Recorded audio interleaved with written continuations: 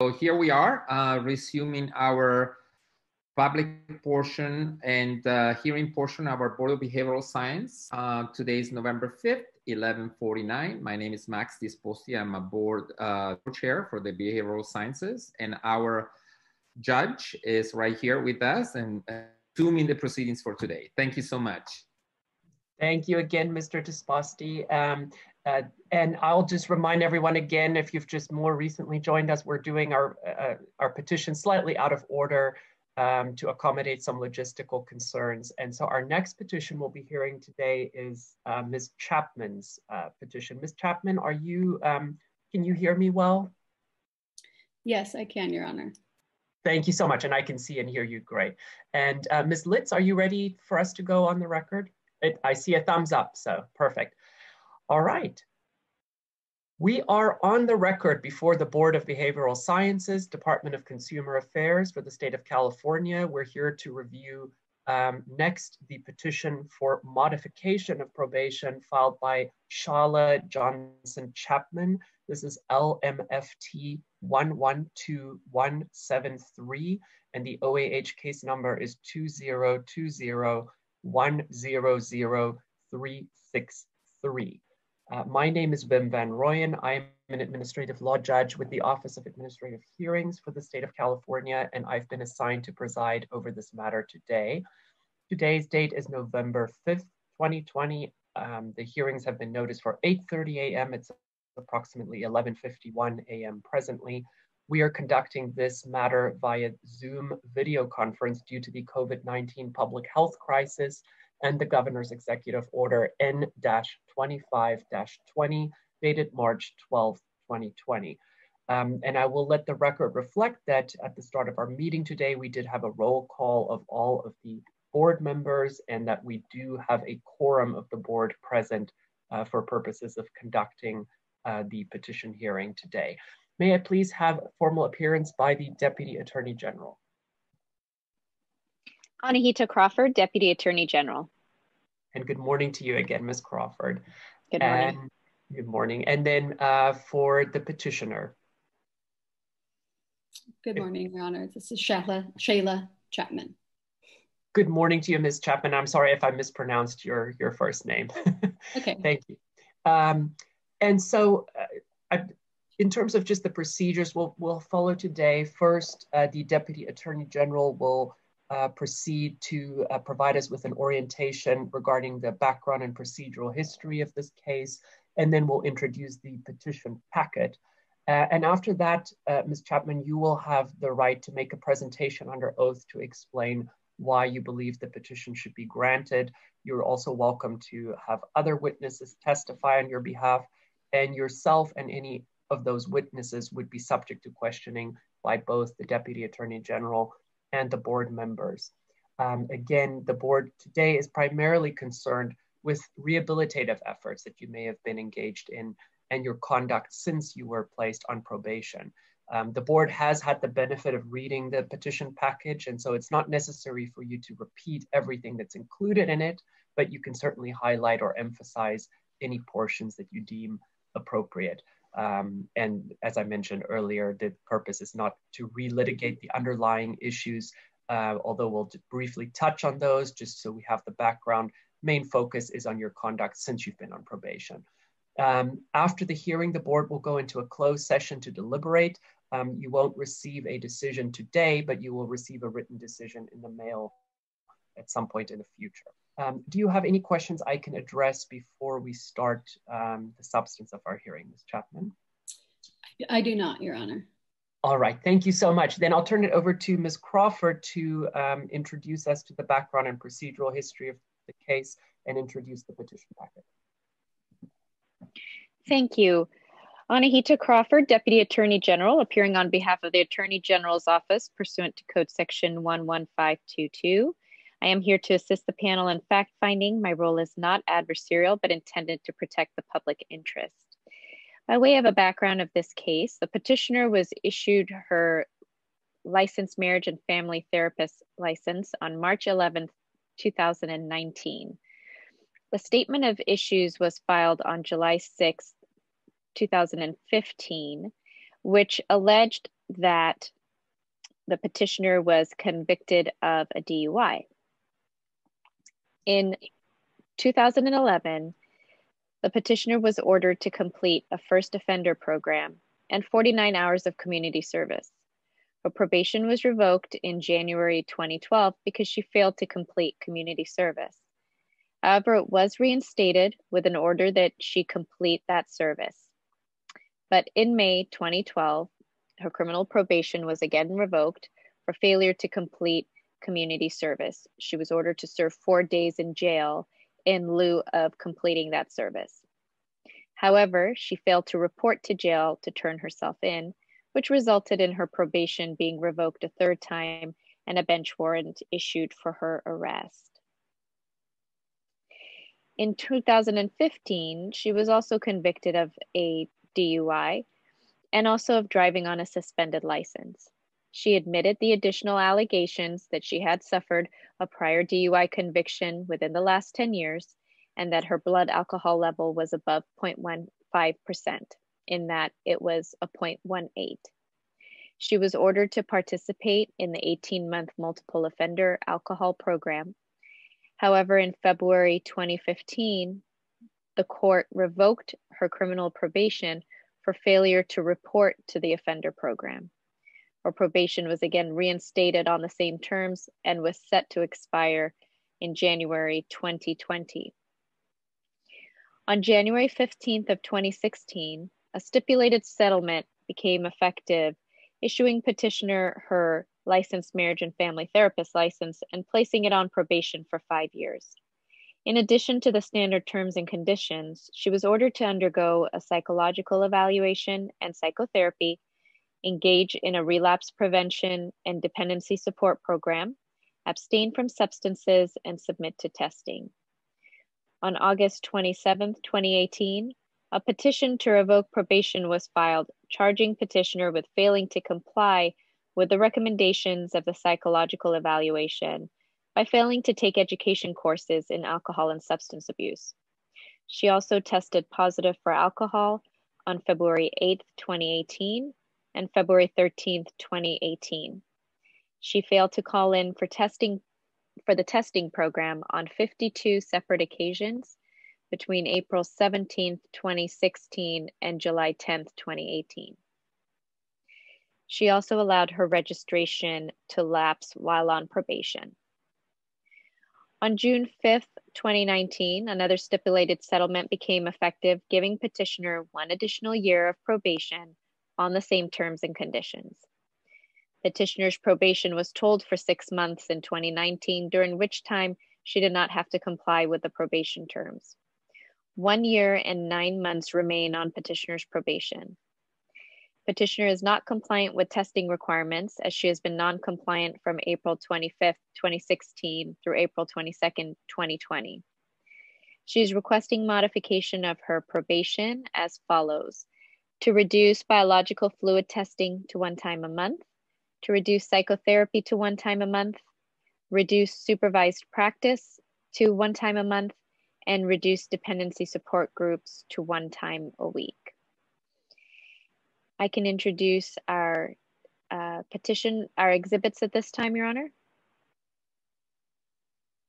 Yes, certainly. Thank you, Ms. Crawford. Go ahead. Thank you. Exhibit one is the memo to the board members regarding petitioner's probation status. I would like that marked and introduced at this time. Any objection to exhibit one? You might have to unmute yourself, Ms. Chapman. I just want to make no. sure you don't have objections. So no objections? No objections. All right, exhibit one is admitted. Exhibit two is the notification of hearing to the petitioner of today's hearing date that we'd like marked and introduced. Any objection to exhibit two? No, Your Honor. Exhibit two is admitted. Exhibit three is a certification of license history for the petitioner. We'd like that marked and admitted. Any objection to exhibit three? No. Exhibit three is admitted. Exhibit four is a petition for early termination or modification of probation and the attachments in support. We'd like that marked and admitted at this time. Any objection to Exhibit 4? No. Exhibit 4 is admitted.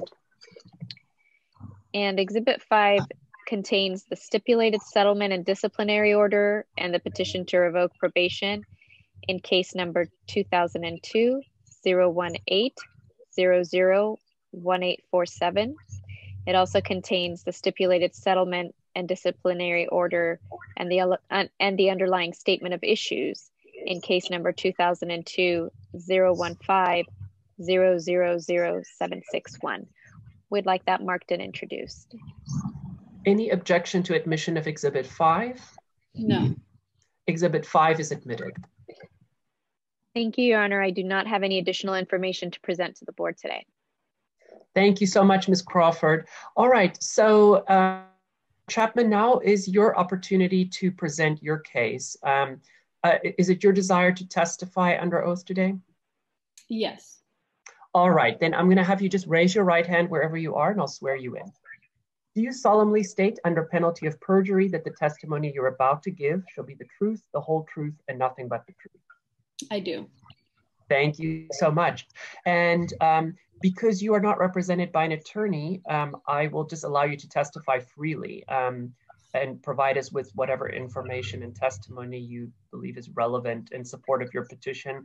Again, uh, if you were listening to the other petition hearings, I'm sorry to repeat it. You, you don't necessarily need to repeat everything that's in your petition, but you can highlight or emphasize anything you want to further explain or elaborate on.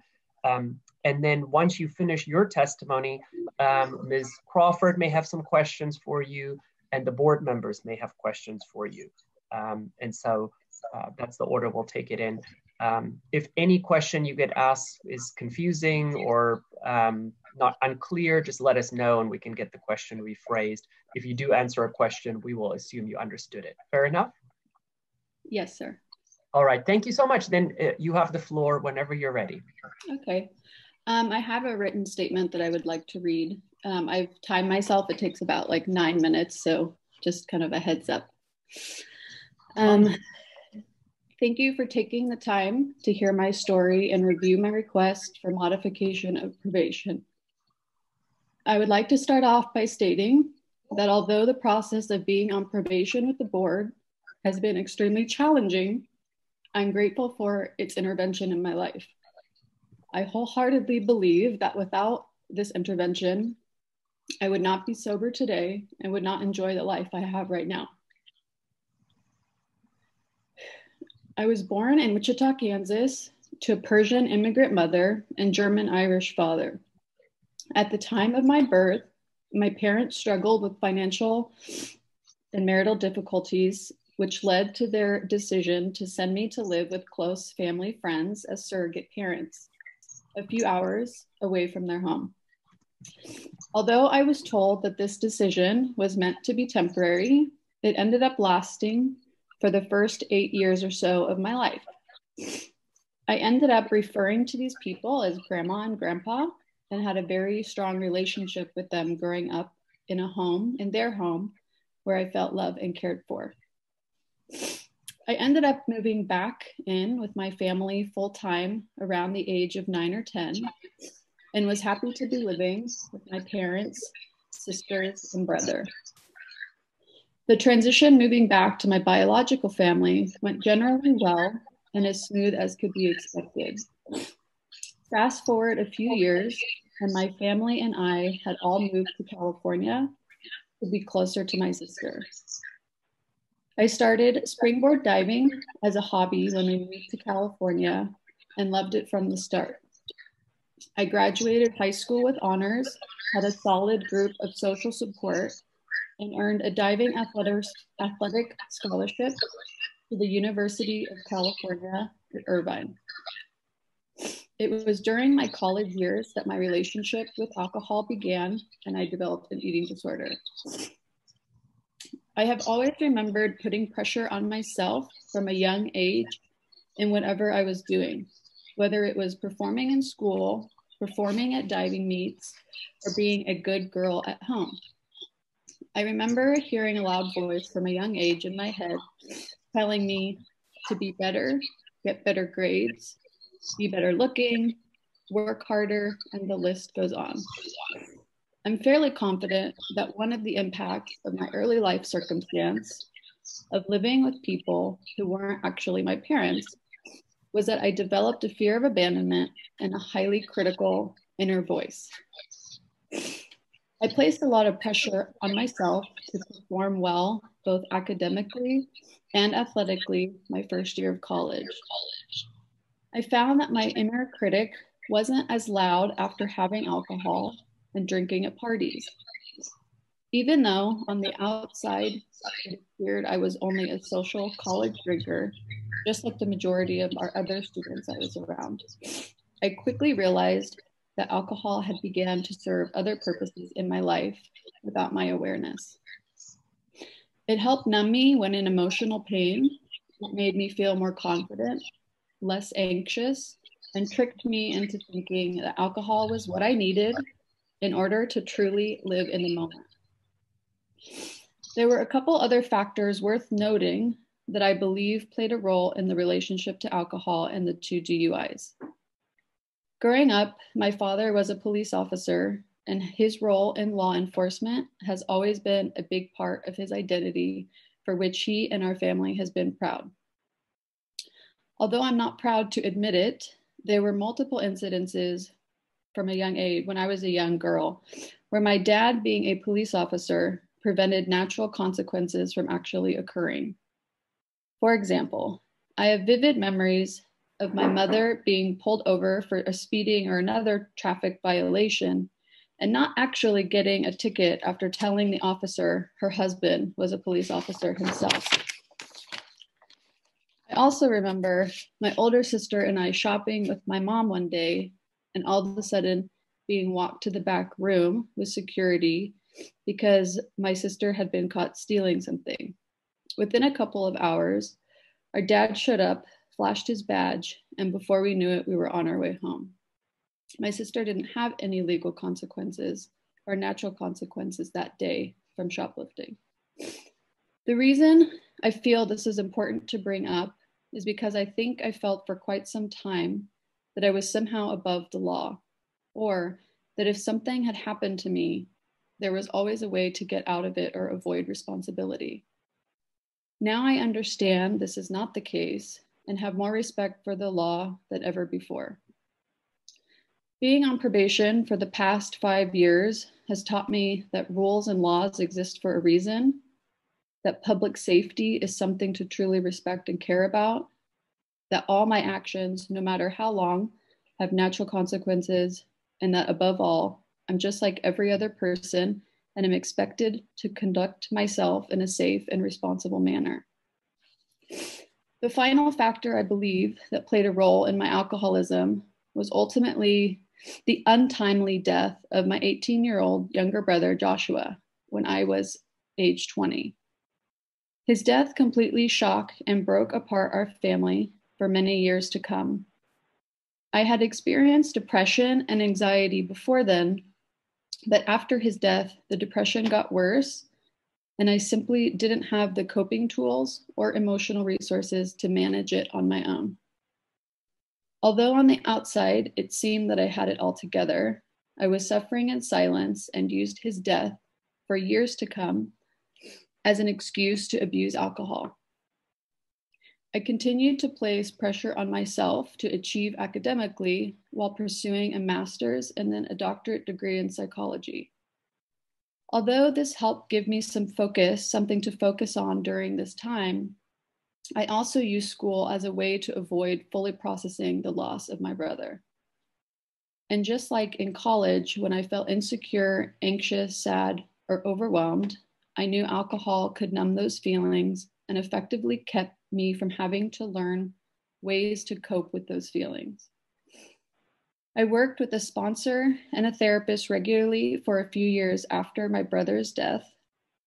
And although it was helpful in me processing this loss, I was still drinking on occasion, which prevented me from needing to learn and use coping skills on a regular basis. It wasn't until my second DUI that I truly came to terms with my alcoholism and developed what I call my internal moral compass that guides me and keeps me in line with my core values today.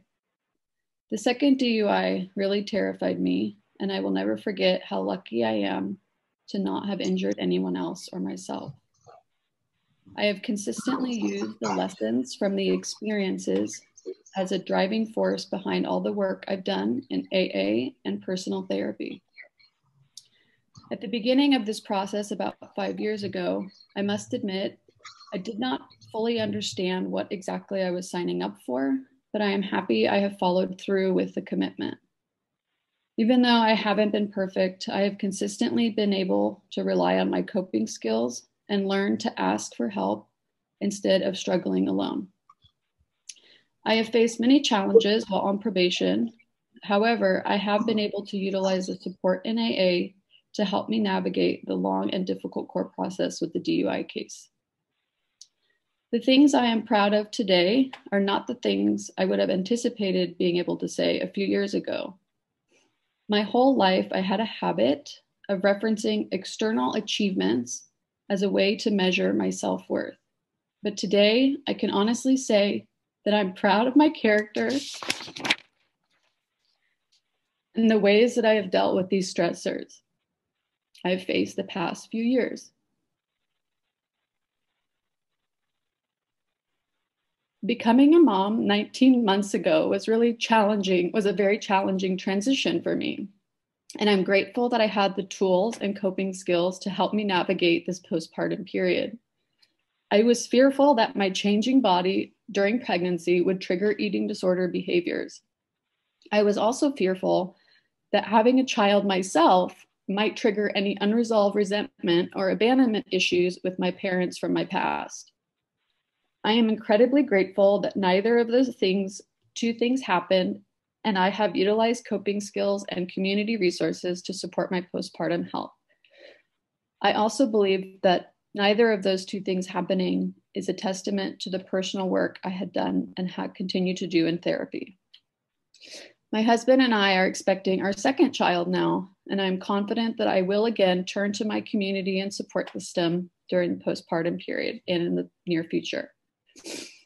This process of being on probation with the board has given me the gift of being in consistent therapy while being sober. I have made more progress in therapy in five years than I had made in the 10 years prior. I have learned how to deal with life on life's terms.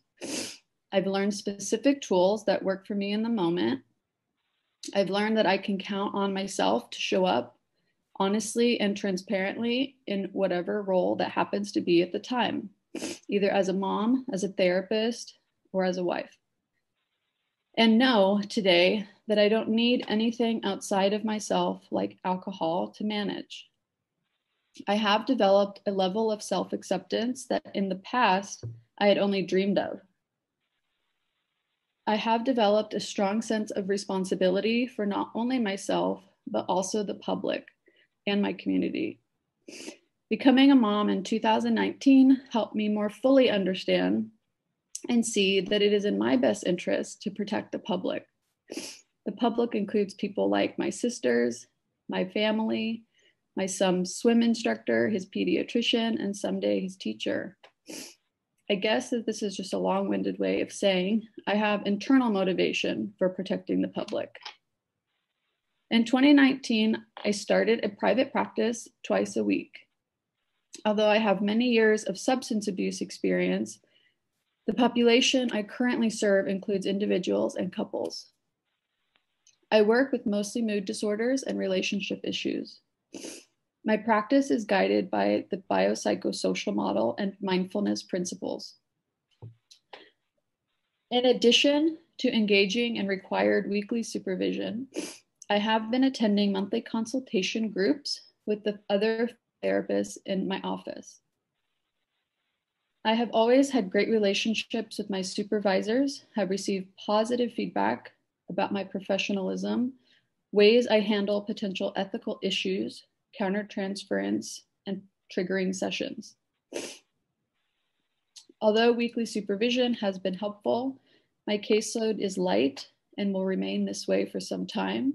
And for these reasons, I would like to respectfully request a reduction in the frequency of these sessions. Thank you so much for taking the time to listen to my case. Now I'm welcome. Thank you so much, Ms. Chapman. Um, next, I'm going to have ask Ms. Crawford if she has any questions for you. All right, uh, Ms. Crawford, whenever you're ready.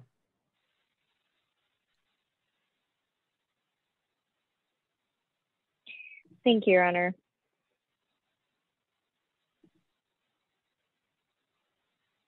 Just one moment. No problem.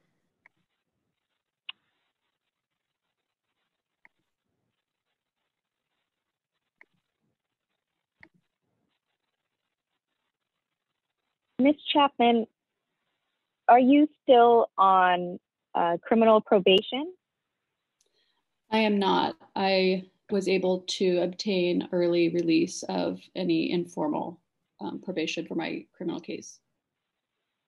Okay, when did that end? That ended over two years ago. Okay. The exact date I do not have in, in front of me.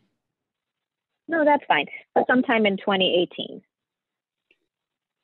Is that right? I believe so, if not earlier, but okay. yes, I believe so. Okay. Do you consider yourself um, an alcoholic? Yes, I do. Do you have a sobriety date? I do. July 20th, 2015. What is the significance of that date?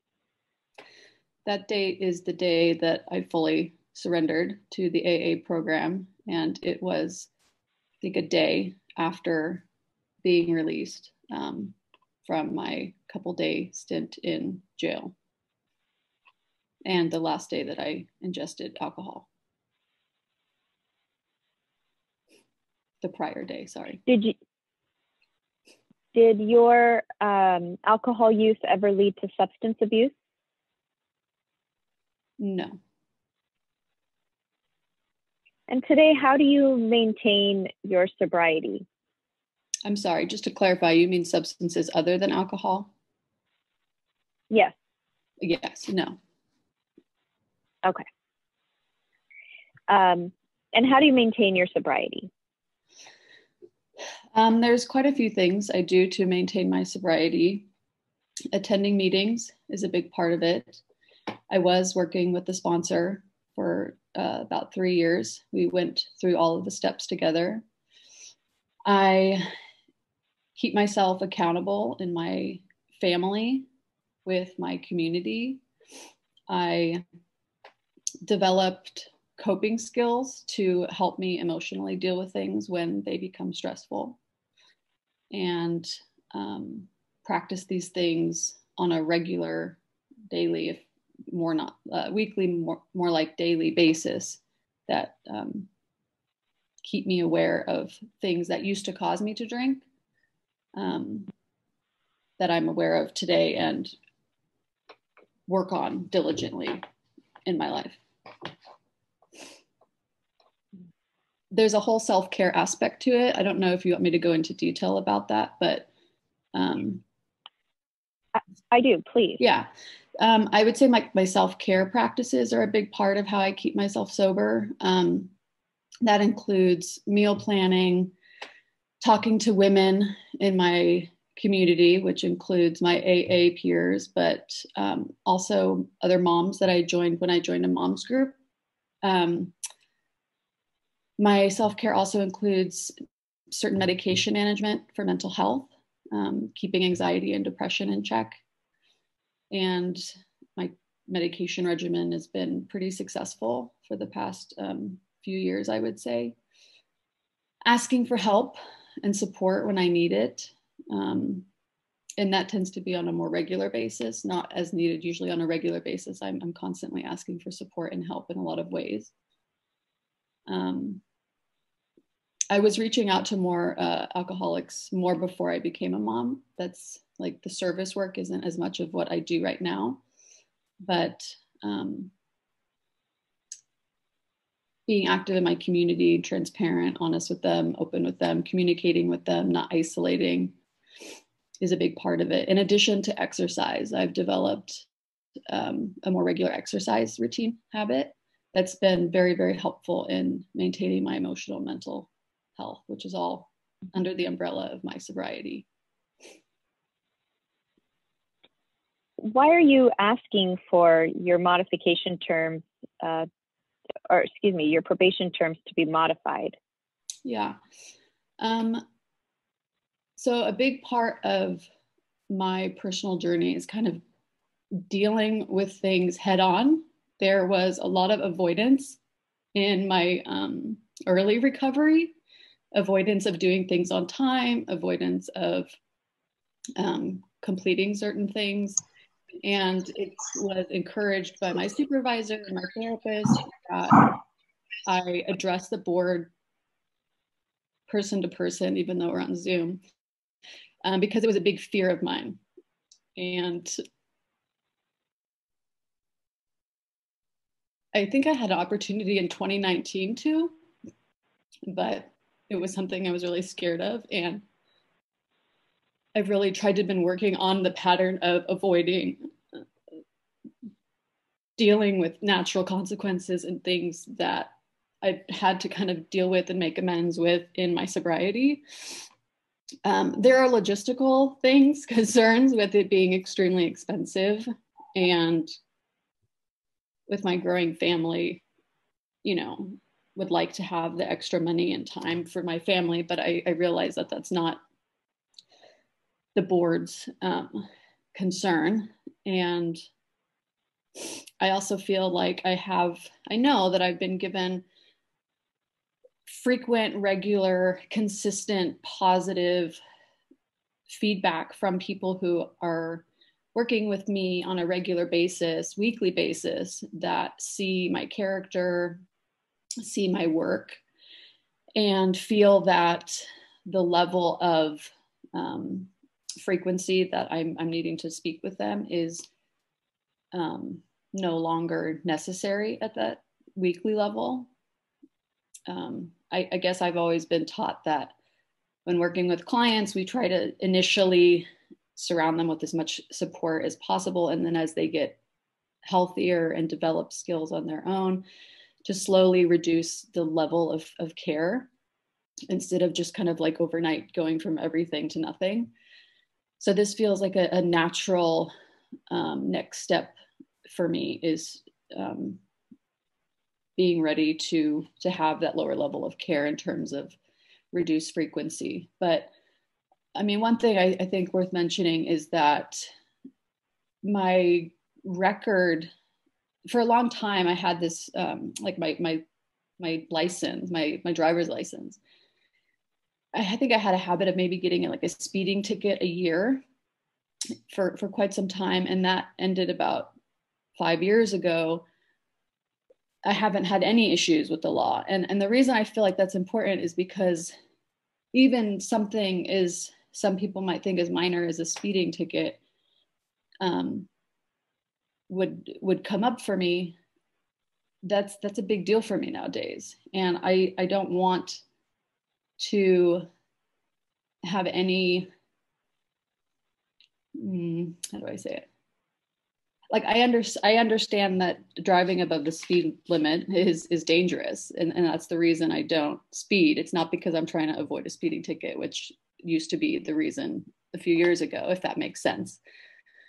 Um, there were a lot of external motivating factors that originally triggered me to accept my alcoholism and maintain in the program and my sobriety, but I've also, I guess I feel like I've kind of internalized the board and there are my, my, my, myself, my internal reasons for wanting to keep my community safe, wanting to keep a clean record, wanting to think about people outside of myself and their well-being when um, five or more years ago, it was really just kind of about myself. I don't know. Now I think I'm rambling, but hopefully that answers.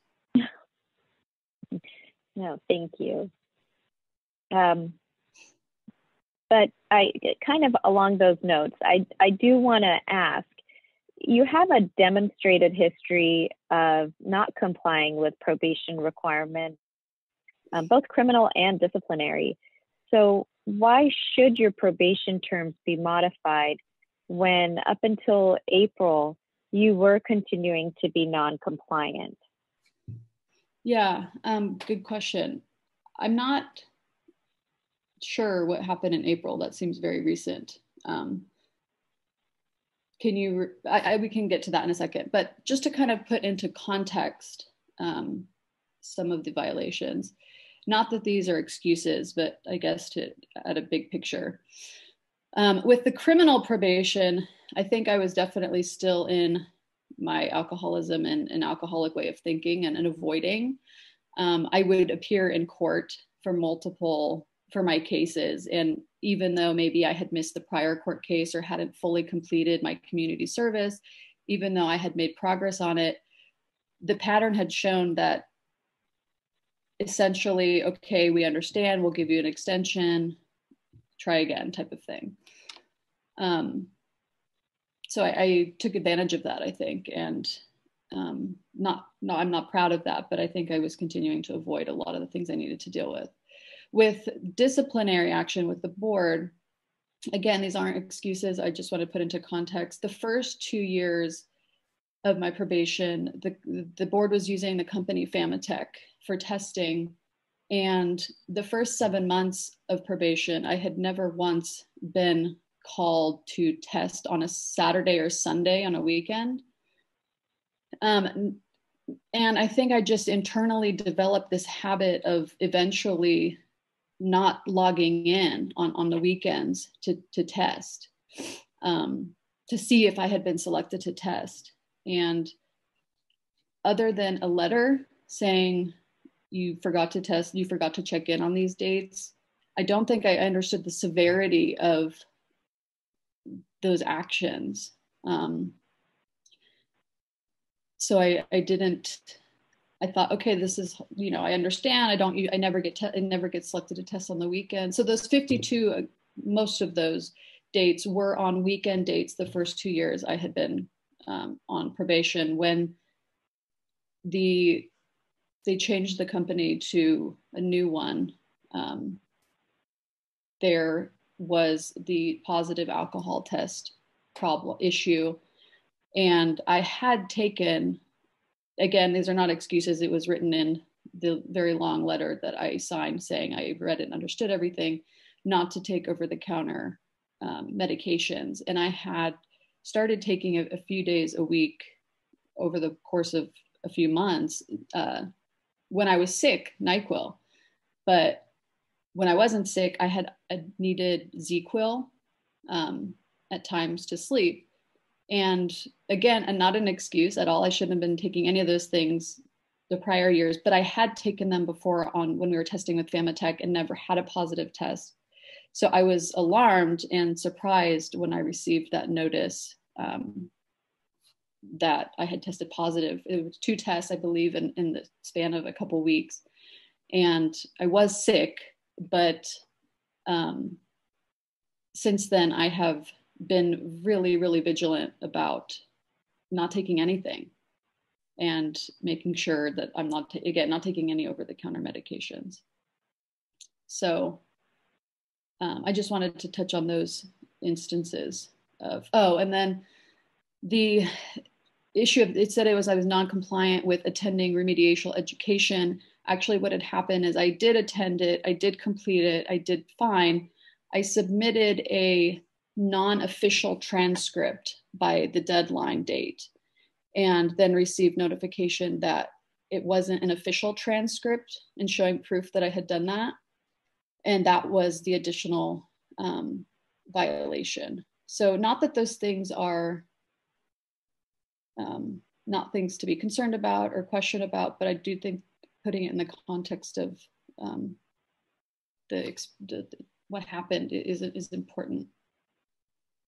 I, and I continued to um, show that I, I, was wanting to be on probation and continuing to practice. Um, I think if if my heart wasn't there, I would have just decided, you know, I'll pass on this for now, and if in a few years, you know, I could try again without all of these um, guidelines and, and restrictions.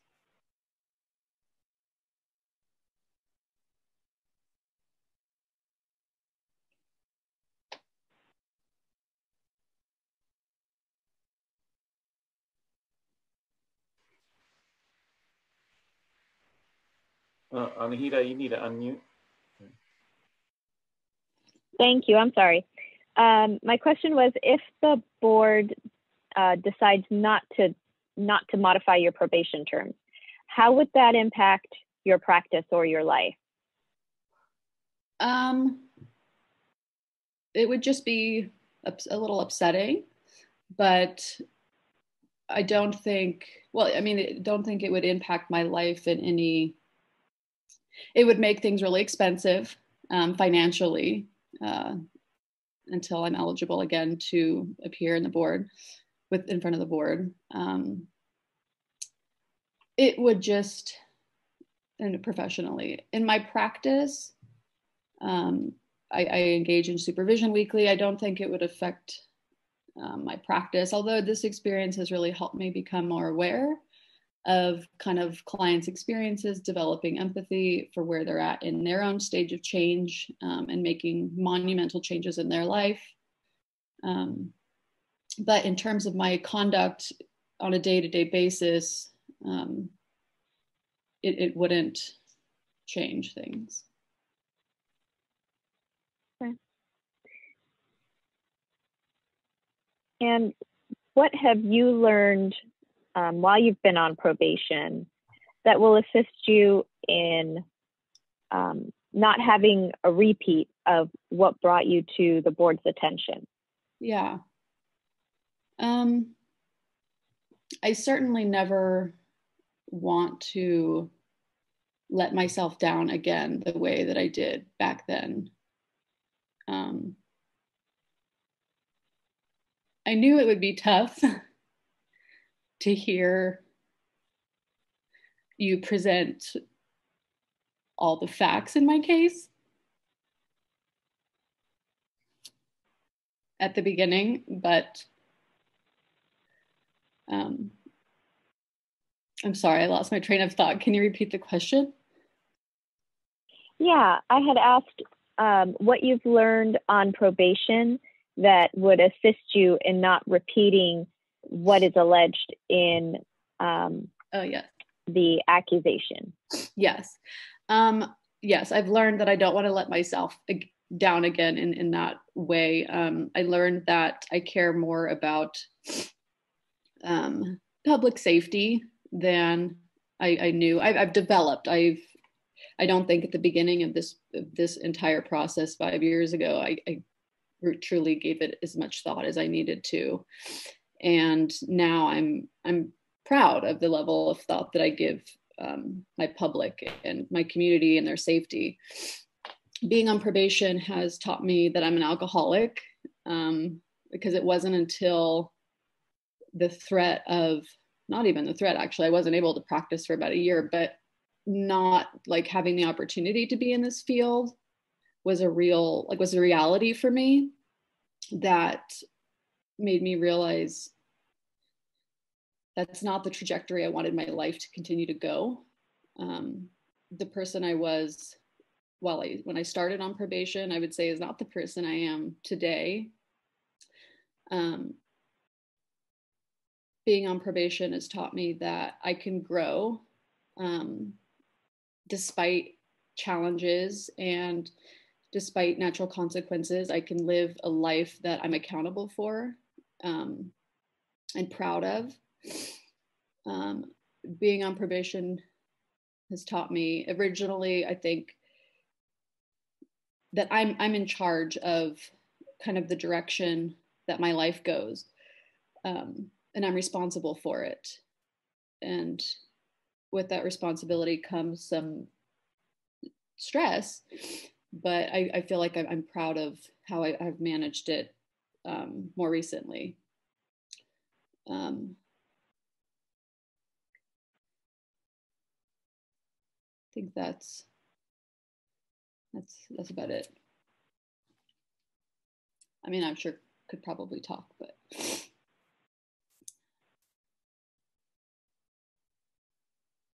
Thank you. I don't have any other questions. Thank you, Ms. Crawford. All right, I'm going to turn to the board members and I'll start. Ms. Foster, do you have any questions for uh, Ms. Chapman? Thank you, Your Honor. Um, as always, Ms. Crawford has the right questions. So as a public member in looking out for the interests of our public, I, I just wanted to thank her for giving us all the opportunities to hear the story. And uh, Mr. Chapman, well, congratulations to your new coming. um, thank you for uh, guiding us through this journey because I, I, I, understand, I can see it's painful and not easy. And, you know, I hope that no matter what the outcome will be, that this is also an opportunity to, for some people, it's been a healing process, right? To be able to actually uh, put aside the, the, stigma and the, the challenges that comes with the convictions and perhaps facing, you know, what we read and, and see. Um, so no, thank you. Reality, there are not particular questions. I was just a little, a little. Um, I was uh, in your uh, modification. You point out some of the possible, obviously, uh, conditions that will benefit you in relations to timing and you know and all the efforts that I can see you're putting into this. But um, so your therapeutical support that you uh, describe also in your petition. So how do you, um, how are you willing to um, use that space that you're proposing to be diminished in relations to your modification? How would you, and why? So, you know, it seems like it's working really well for you, right? I, mean, it's doing the job that's supposed to be doing. So um, we understand the, the challenges of having terms in place and how they affect your life, but at the same time, you, you seem to understand also the reason why they are there. So if you can elaborate a little bit more on that aspect of emotional support and and how it will come about if we decide to change. Yeah. Um, my emotional support includes my AA support, women in my meetings, um, certainly my therapy with Dr. Verman, which has been very helpful. My husband um, has been extremely supportive in, in this process as well, and my family. Um, I've been part of my personal work has been to be transparent and address these things, work through shame. And so, you know, everyone in my family knows I have a hearing today, and um, part of my emotional support and work is leaning on my my family when I need it and re- asking for their support when I need it.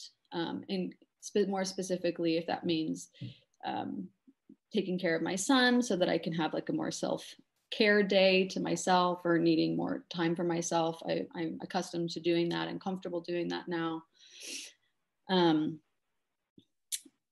so I, I hope that that helps answer your your your question. My emotional what how how would i continue emotionally supporting myself? And then the second part was um, were you asking what i would do with my time my, a little bit of extra time that i had if i if my terms were reduced? Uh, well that too uh, thank you. Um no mostly i was looking into it seems like this support around you is working so well for you even the the terms that we put in place.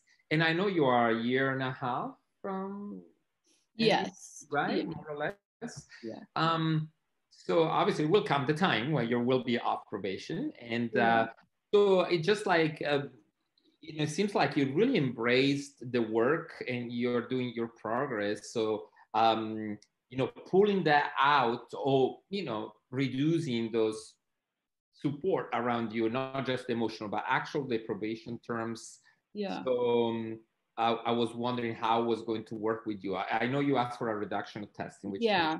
Just to be clear, I would continue in personal therapy. Um, okay. I That's think fun. I think right now between the I, I, could see myself needing it maybe more on a weekly basis um, when I have my second child. That I know that that's a more challenging time. Um, I think right now I would benefit more from maybe twice a month once a month um, is things aren't coming up as much in, in personal therapy. My supervision has been helpful.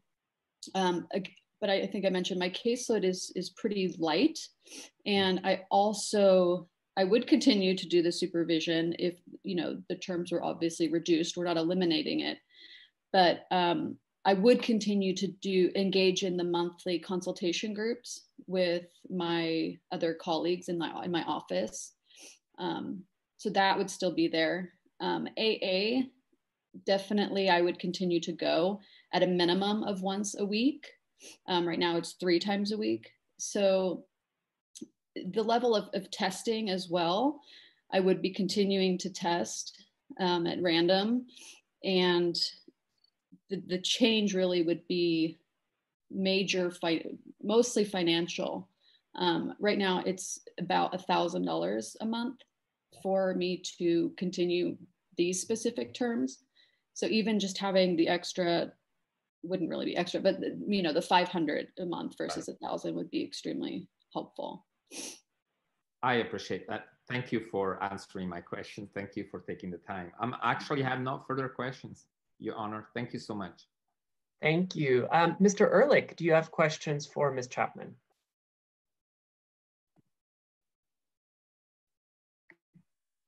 Sorry about that. Just the wrong button. Uh, hi, Ms. Chapman. How are you doing today? Hi, good, thanks. Um, I do have just a couple questions, and I know that you uh, briefly touched on on some of the things that I would I wanted to find out about. Um, you talked about you, talked about that. Uh, you you mentioned that when you'd missed a test, um, you'd get a letter. Were you were you notified somehow after you missed a test? Um, when I missed log, if I missed a test, which hadn't happened, I think recently, but yes, I would definitely receive a letter. But if I missed logging in um, from the weekends, mm-hmm. it would like weeks would go by. Um, from from my recollection, where I would then receive a letter. Um, so, so at, at, some point, at some point, I was I was notified. Absolutely, yes. Um, yes, I was. And so I'm looking,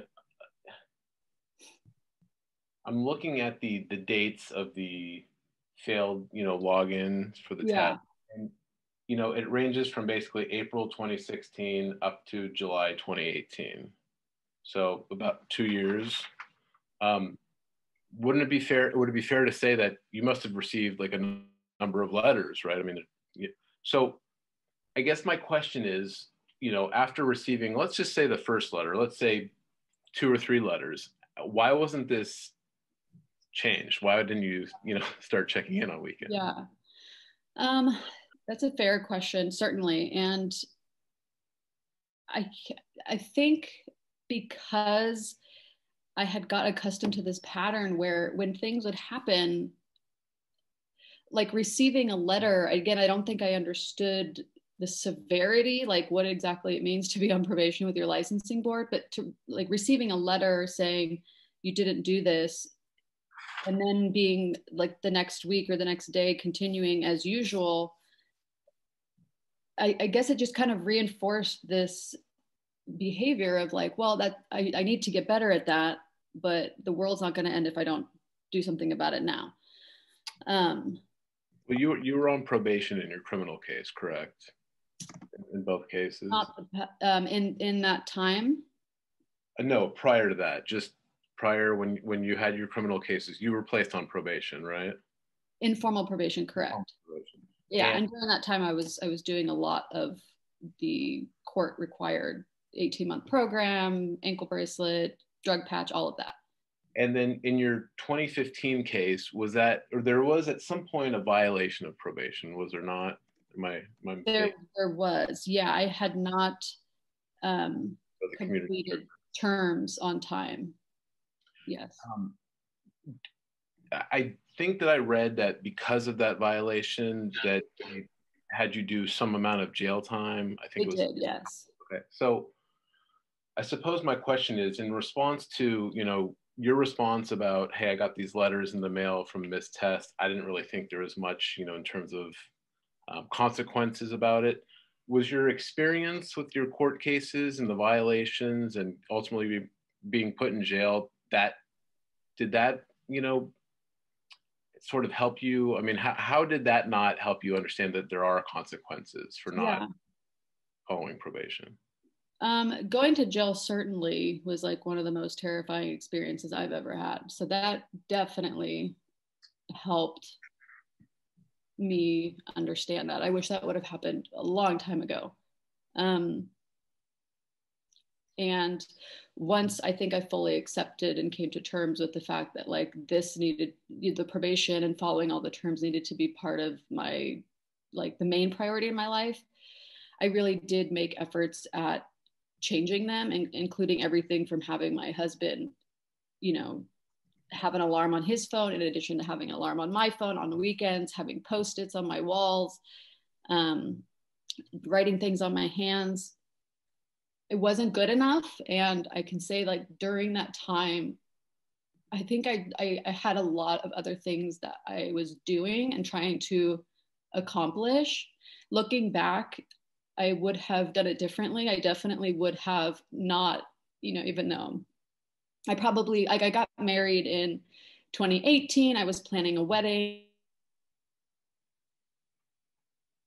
I was finishing my doctorate degree. And although those things gave me some motivation to continue like in this field and, and try to find some joy in my life and create happiness in my life while I was going through all this stuff, it impeded my ability to really prioritize the probation terms and i think understand that like how like how um, important and serious it was so I, I definitely was kind of like distracting myself i think with all the things that were you know i was i was doing in my life and looking back that was a mistake i'm sure my compliance with probation would have been a lot better if i didn't quite have so many things going on i understand um, I was wondering if you could explain why the probation was tolled.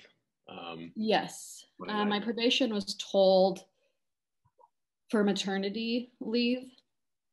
Um, I believe it was tolled for about six months, so a little bit before the birth of my son, a few week, a couple weeks, and then before I um, went back to work. Okay. And then, is there? Well, let's see here. Um, and then you're you're saying that the the causes for the the positive tests were a result of like using cold cold medicine. Cold medicine um, on one occasion, and then the other occasion it was just alcohol that was in ZzzQuil. Um, I did not know that it on fine fine print said 10% alcohol um, on it until bef- like I, I received the notice that I had tested positive. Okay. Okay. Well, I'm, those are all my questions. So thank you for being here today and for being so candid with your testimony. All right. Thank you, Mr. Ehrlich. And then let's see who's next. Uh, Ms. Friedman, do you have any questions? I do. Can you hear me? I can hear you well. Okay, because I wasn't sure what, I thought I was unmuted.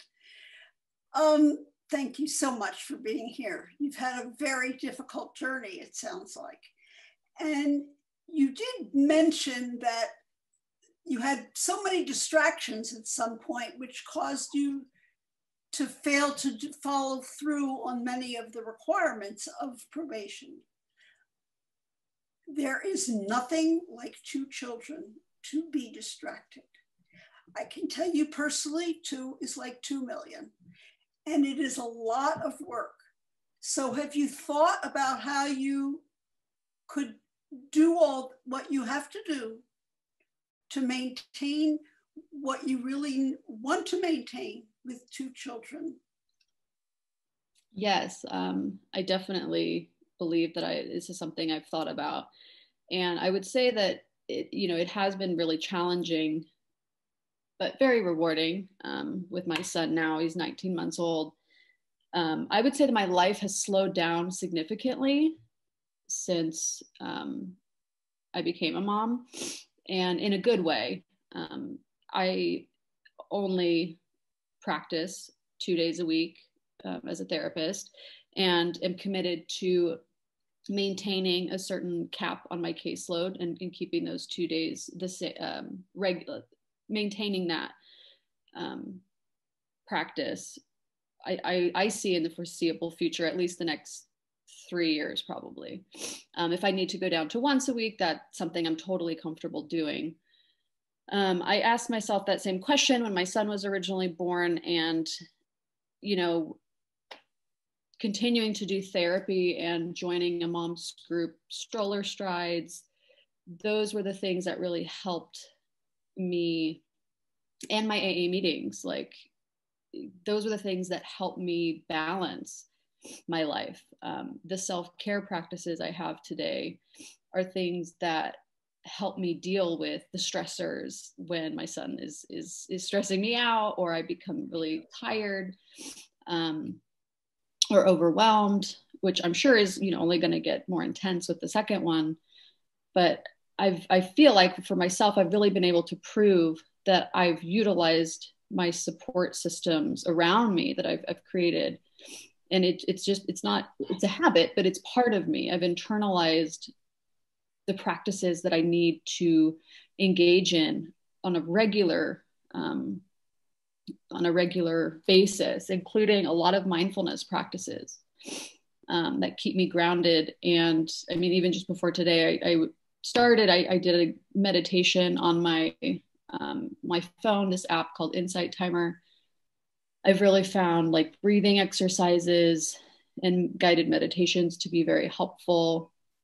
Um, so you know body scans progressive meal, uh, muscle relaxation so i do think i'm aware of how challenging it's going to be um, and again i think just how i've handled it the first time I, I, I, was i was proud of myself and confident that that's how i will continue to handle it with the, with the second one setting really clear limits on myself and having boundaries about how many people I'll be seeing in, in practice, how much I'll be working, um, so that I don't overextend myself.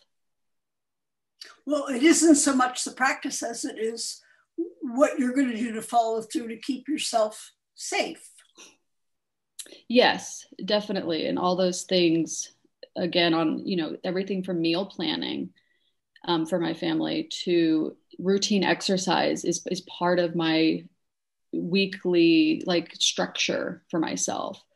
Um, I've carved out a lot of time for myself um, and, making sure I'm aware of, you know, therapy and mom group and AA meetings. And it, it feels like a, times excessive, but important that, you know, I, I have those things in place to to help me. Because um, I you know I can't do it alone and and my family has been a big part of that that support too. They're both they're local. Um, I have family here and my in-laws are here all within 10 minutes and they've been a tremendous support. So I'm grateful to have um, them in my corner as well that sounds really good good luck thank you I don't have any other questions all right, thank you, Ms. Friedman. And then um, Ms. Herwick, do you have any questions? I do, thank you. I, I, think you answered the couple of questions I have, but I did want clarification on one. I, I think that I heard you you say that you did have other three years. Are you currently working with that sponsor now? You cut out just a little bit. I'm oh, sorry. Was the yeah, question no. I have a sponsor? Yeah, thank yeah. you. Thank you. I'm sorry. Uh, this is Judge Van Rooyen. I want to make sure because I think our court reporter probably did not catch that. Is that right? I did. Yeah, I did not catch what she said, and then um, the petitioner asked her to repeat it. So I yeah. think yes. I think I'm caught yes. now. Yes. Why don't you re-ask the question if you don't mind, Ms. Herwick? That way the record's clear. Thank you so much. Hopefully, you hear me. I, I was asking for clarification. I heard you say that you did have a sponsor for three years. I'm wondering if you're still with the sponsor in AA. Yes. Um, my sponsor, Janice, moved away about 22 months ago. Um, but during, like, we did the steps before then. But no, I have not gotten another sponsor yet. Um, my understanding of kind of the role that sponsors play and that she played was they really help you manage cravings and triggers and are kind of a sounding board if you feel like you can't trust yourself or keep yourself accountable. Um, although it's not the exact same talking about these other people, but talking to a therapist once a week, having supervision once a week, going to AA meetings three times a week, talking to women in my support group. Like I feel like I'm doing that a lot, um, talking about me and, and kind of my internal process. And I, I haven't dealt with um, triggers and cravings. I mean, it's not like I never think about it, but um, I don't struggle in the sense that like I like I was the first couple years where I was really like I, I needed to call her and talk things out. Um, I, I, feel like I have a very long list of people I, I, do do that with on a regular basis. So I guess a sponsor at this time feels would feel maybe a little redundant, but I'm not opposed to um, starting with the sponsor again if I if I need feel like it's necessary in the future at any time. Thank you. No other questions. All right, and let's see. Next, we have um, Mr. Maddox. Any questions? I think I just have a couple. Thank you for coming today, Ms. Chapman. We really appreciate it. Um, I'm curious, um, and I guess my questions are along the same the lines of um, Board Member Ehrlich.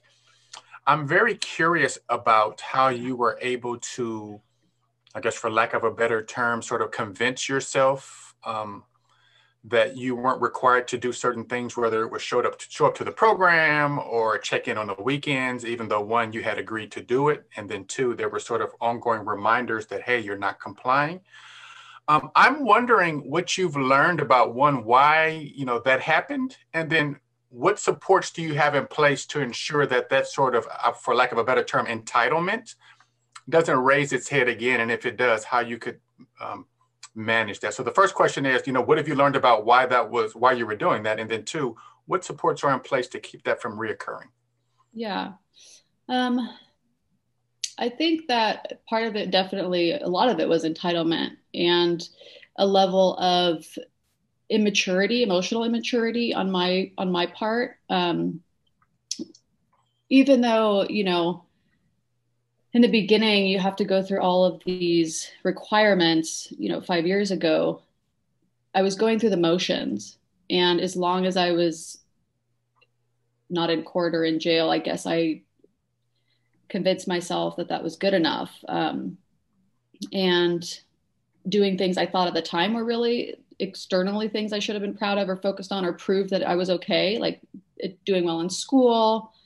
Um, not breaking the laws, um, being a good sister, a good mom, a, a good uh, friend. And so I, I, chose to ignore a lot of those things. And, and it cost me, it cost me a lot. Um, and I, again, I think it kind of goes into like the avoidance behaviors. But I mean, one thing that I really I'm not here to like brag about, but one of the things that was really important for me and when my sponsor, when I worked together, was deciding to navigate the court process with her and with the support of AA members who would go to court with me, but like not having other people involved to bail me out of anything. Um, and being really transparent with my family and not accepting um, like financial like as an example like financial resources for an attorney or things like that. That was a very uh, intentional decision and in addition to like with the probation stuff i've been very intentional about owning all of it on my you know myself and not trying to divert any other responsibility to anyone else, um, financially, emotionally, all of it. When I first started this process, I think I really had an immature, underdeveloped, entitled attitude toward the board, thinking that the board had done something to me and made my life so challenging.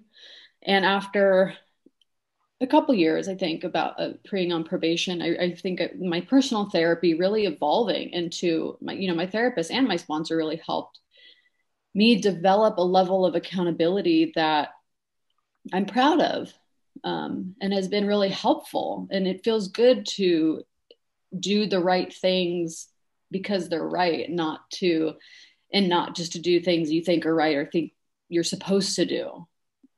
Um, I wish I would have had developed that kind of internal moral compass way earlier, but unfortunately, it took such a severe um, intervention from the board.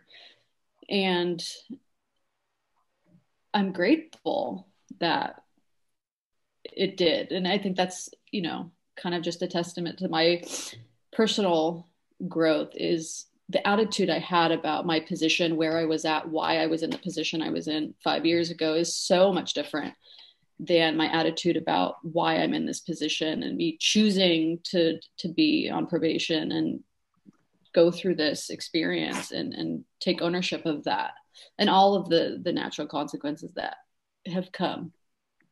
Oh, thank you. I really appreciate that. I mean, that really was uh, in line with what I was looking for. Uh, you're taking tremendous responsibility for it, acknowledging where you were at the time and how you've subsequently grown. And I'll just add to it, it also speaks highly of sort of your, the fact that you're asking for a modification and not for early termination. That, that speaks to that too. So I appreciate your answer. And I don't have any more questions. Thank you. All right, Mr. Ranasinghe, do you have any questions?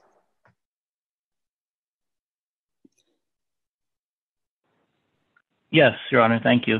Ms. Chapman, under examination by one of the board members, um, you mentioned that your sobriety date was, I think you said July 20th, 2015? Yes. Um, but you had a no-show in 2017 to a drug test, as well as those two positive tests. Could could you explain to me why you maintain, and, and it's perfectly fine if therapeutically you do so, why it's 2015 versus two or three years later? Yeah. Um, I, this was something I had discussed with my sponsor at the time, um, and we had talked out, but the change in thinking and behaving and decision to eliminate alcohol from my life um, I wouldn't say the change in thinking yet, but the decision and the commitment was on started July 20th, 2015. Um, gotcha. And okay. yeah, yeah. That that's kind of what I was um, wanted to know. Uh, and I think under examination by board member Ehrlich, you mentioned that um, you were taking NyQuil uh, at some point during the positive tests. Is that correct? NyQuil and ZzzQuil um, on another. ZzzQuil. Yes. Okay. Um, yes. So, um, and, and, it might be different in um, York County, but um, did the drug testing facility ask you whether you were taking any medication or did you have a call from the medical review officer? No. When we go to test, um, especially for that time when I was, um, I had started in when you guys had changed the companies from Phamatech to the company you guys use now.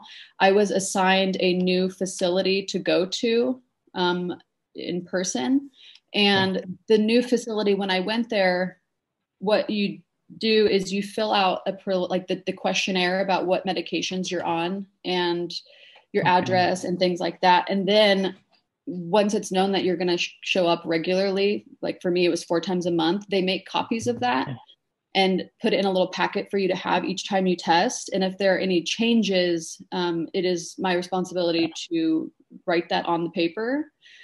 Um, so I'm pretty confident that even though on the paper I had said when I originally started, the one that was copied, like, no, I'm not on medication, even though I had started taking the NyQuil, the ZzzQuil um, I went in with that copied paper that didn't have, then I didn't put an update. Oh, okay. Um, do you, do you recall how much? Well, let me ask you this: Did you do know you tested for over three thousand nanograms of EtG? Yes. Which is a substantial number. Yes, that's okay. yes, that's what I was told. So I guess my last question is, you know, given all this stuff which happened between 2017 2018 that's a short time period between now, then and now. Um, the board's concerned with public safety. So how are we to understand that this change is sustainable? Yeah. Um, I think on some level, the letters of people, like the letters of recommendations and letters of professionals that we submit on on our behalf when like for for example my therapist um, the supervisor that i'm working with i think on, on some level besides my own testimony and, and stuff like that has to kind of play a role in i guess i don't know maybe doesn't but um have some credibility i guess is what i'm saying if if my okay. supervisor and my therapist have consistently over the course of this time mentioned or said like we support a reduction in terms. We see that she's safe to practice with the public. We we we don't see any red flags or any concerns. Um, i guess i would hope that there that that comes into play at, at some point on some level. Um, that's thank you. Thank yeah. you miss thank you very much. And i think you've done a significant amount of work. Thank you for your testimony today Mr. Sovek, do you have any questions for Ms. Chapman? I do, thank you. And thank you so much. I know this is a long process, but we're really trying to hear everything that we can to help us with this decision. Um, just a moment, you had mentioned about your letters of reference. And they're actually a point where I do have a little bit of confusion that maybe you can help me understand. Um, we have a series of letters that are people who say, you know, they've known you quite a long time, um, Rich Wayne, Zara Zamitsky, you know, said they had a long history with you. And they gave you these really powerful recommendations of what a quality person that you were. Were they aware of the legal challenges you were having? Were they aware of the um, not following through on your probation? Were they aware of the jail time? And how do you think that influences how we should see these letters of recommendation? Yeah, um, Rich Wayne, I know I had worked with him personally in therapy for a while. Um, I was still drinking at the time when we first started working together, and he know he knew and knows about my case and everything that was going on. I don't think he knew the. Um, I don't remember having in-depth discussions about violations and um, things like that in terms of the specifics with the court. Okay. The other one was I think a couple of professors who had known me during that time knew of um, my case, and although I, I, I do still know them and keep in contact with them, um, knew about my case, but again, not the specifics in terms of not finishing things on time or violations and um, that thing. They knew that I was in therapy. They knew that I was in, on probation, that I was working with the sponsor, um, the the weekly and daily changes I was making. Um, but I don't recall like having. I'm sure you know if they knew at that time if we had talked more in, in depth about violations and my challenges with that maybe their recommendation letters would have been different i think at the time the focus I remember was being really proud of me for continuing in the field, being in AA, being able to maintain, like, develop and maintain a, healthy relationship with my at that time fiance, now husband, moving forward in school, those those kind of things. I, I believe. Okay.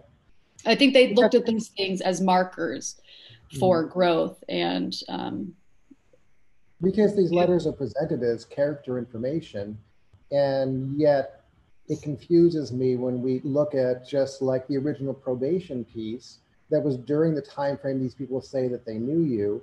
Like so the character they saw versus the character that was actually traveling through your life missing probation the jail and all of that there's a big disconnect between these letters of referral and who you are presenting to us in the case yeah, they, they knew about they knew about jail and um, me and my involvement and acknowledgement that I'm an alcoholic and engagement in AA. Um, and a lot of those character defects that are pretty evident, I think, if you don't know me, um, are there. And I think the people who know me and wrote these letter of recommendations understood that those were things that I was working on um, beginning beginning stages of addressing those character defects in um, in in AA.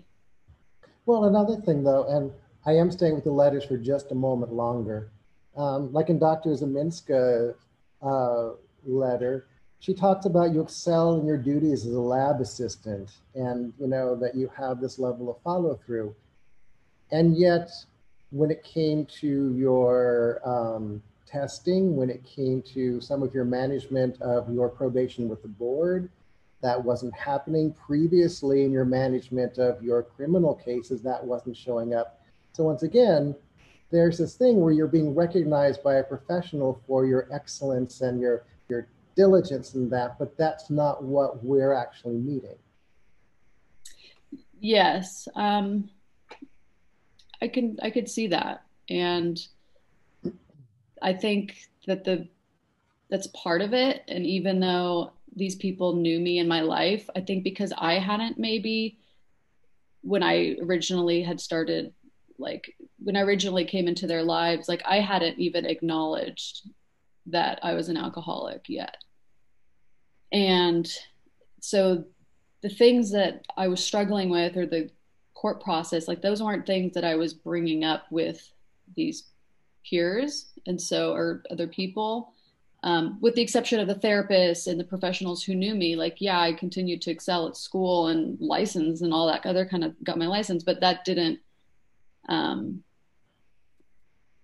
like really contribute to like this internal growth process that i feel like has really taken off more in the past few like few years like three years i'd say okay so I'm just going to follow with one more question about this particular subject because I do have some confusion in my brain still.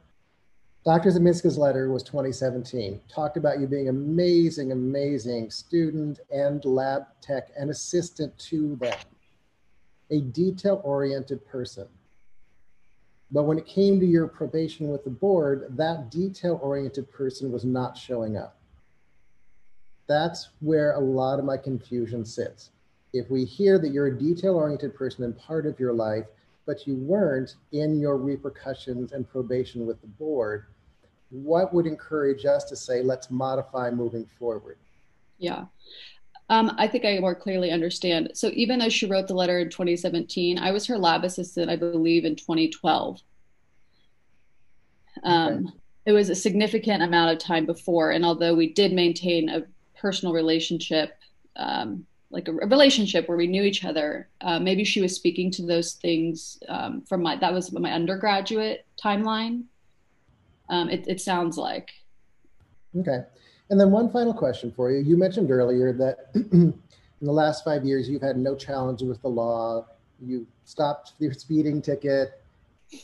Challenge. I, am sorry. Yeah. Sorry. Go ahead you mentioned, am I correct in hearing you say earlier that in the last five years you have had no challenges with the law? Is that correct? I believe I did say that, and I would like to correct that. I believe what I meant was since I started the process, it was challenging and I did screw up a lot, and I wasn't by any means close to being perfect. Um, I get, I, I, shouldn't have said five. Um, I was looking at the past. I, I think it was three, maybe, when I finished all of my court requirements and obtained early termination of informal probation. Um, and when I feel like I really like there was a, more of a pattern of change, like in terms of compliance. So not five. Five is when the whole process started. Um, but yeah. Okay. Thank you so much. I have no further questions. Thank you, Mr. Sovak. And Ms. Wong, do you have any questions for Ms. Chapman? Yes, thank you so much, Your Honor. So, Ms. Chapman, thank you so much for your patience. I know it's such a long, long, long discussion from the, um, you know, from all of the board members and, you know, our um, district attorney general. So, um, I, I do have some some question. Um, let's see. Um, so I noticed that you know that uh, you know you were on probation uh, since um, January 15, 2016. And very soon, one year later, a year and a half later, you already make the request for modification. And that was denied because of the violation.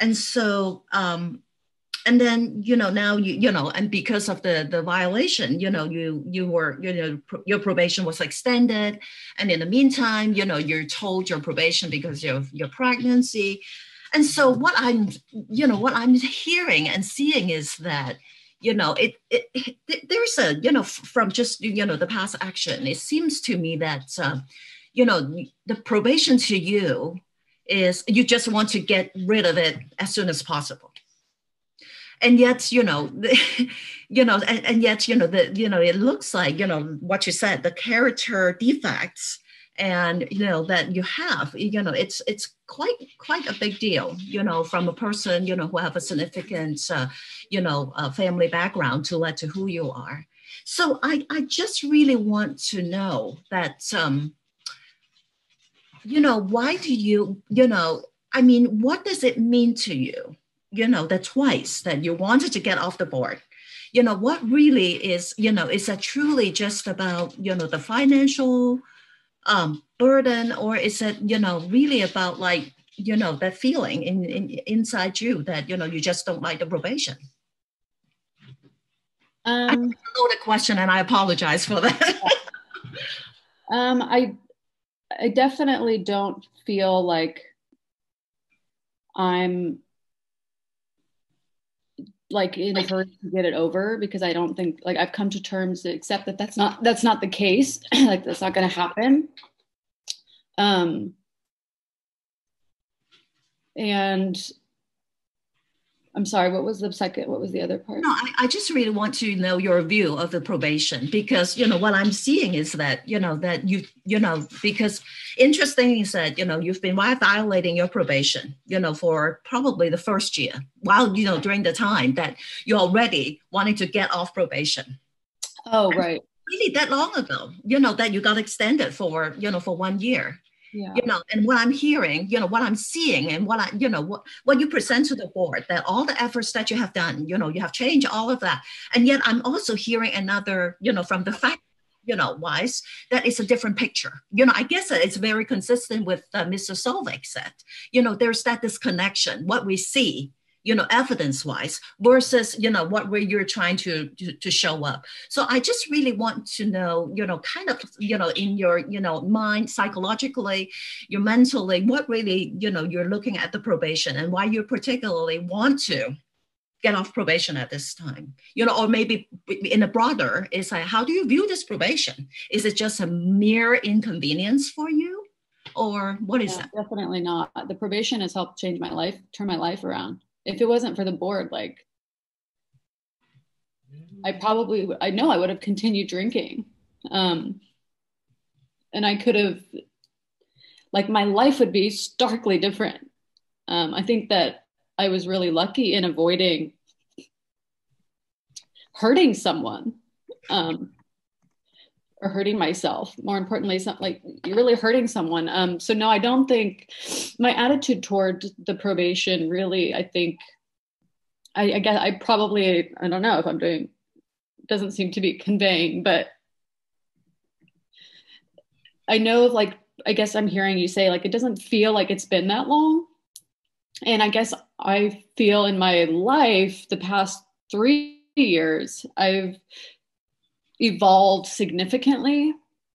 Um, being a wife and being a mom and all those things, like they've they've really changed me, but it doesn't explain like my violations four years ago. It doesn't explain um, forgetting to log in. So those things and, and not taking the the non-compliance letters more seriously and I mean, I really wish I would have like understood more of, or um, I wish I really would, would have worked on the entitlement piece a lot earlier in my life. Um, and that that particular character defect has contributed to, I think, a lot of um, the problems. And even from feeling entitled to drink and be an alcoholic because I had a brother pass away. Well, it's like people experience loss in their lives all the time and they don't necessarily turn to the unhealthy uh, behaviors. Right. So I can't, I don't know if I can speak too much more at my entitlement and inability to really understand the severity of my non-compliance letters and um, court proceedings. I think, you know, once I com- once I completed them and got to a place where I successfully graduated from all of those programs, I kind of owned more of that identity of getting through it, even though it was imperfect, and and being wanting to align myself more with that version of myself and keeping that being a consistent part of my lifestyle and my values and my behavior. Um,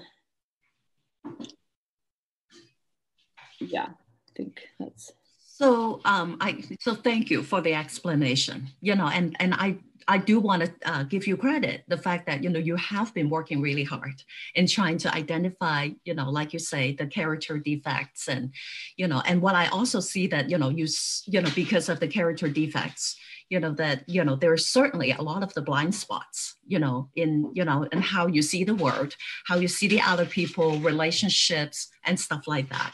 And so you know so my last comment is that i think this is really important as a therapist that we're healthy enough you know to not only you know identify our own you know in you know that our own deficits but also because of our ability to identify those blind spots and and those defects then we're able to help the other people. And so i think you know i i'm i really encourage you to continue to work on those because i think that is a very important foundation for us to you know to see that you know you're going to be able to practice you know in a healthy and safe manner so especially, you know, you are in private practice. There is no mechanism to hold you, you know, accountable.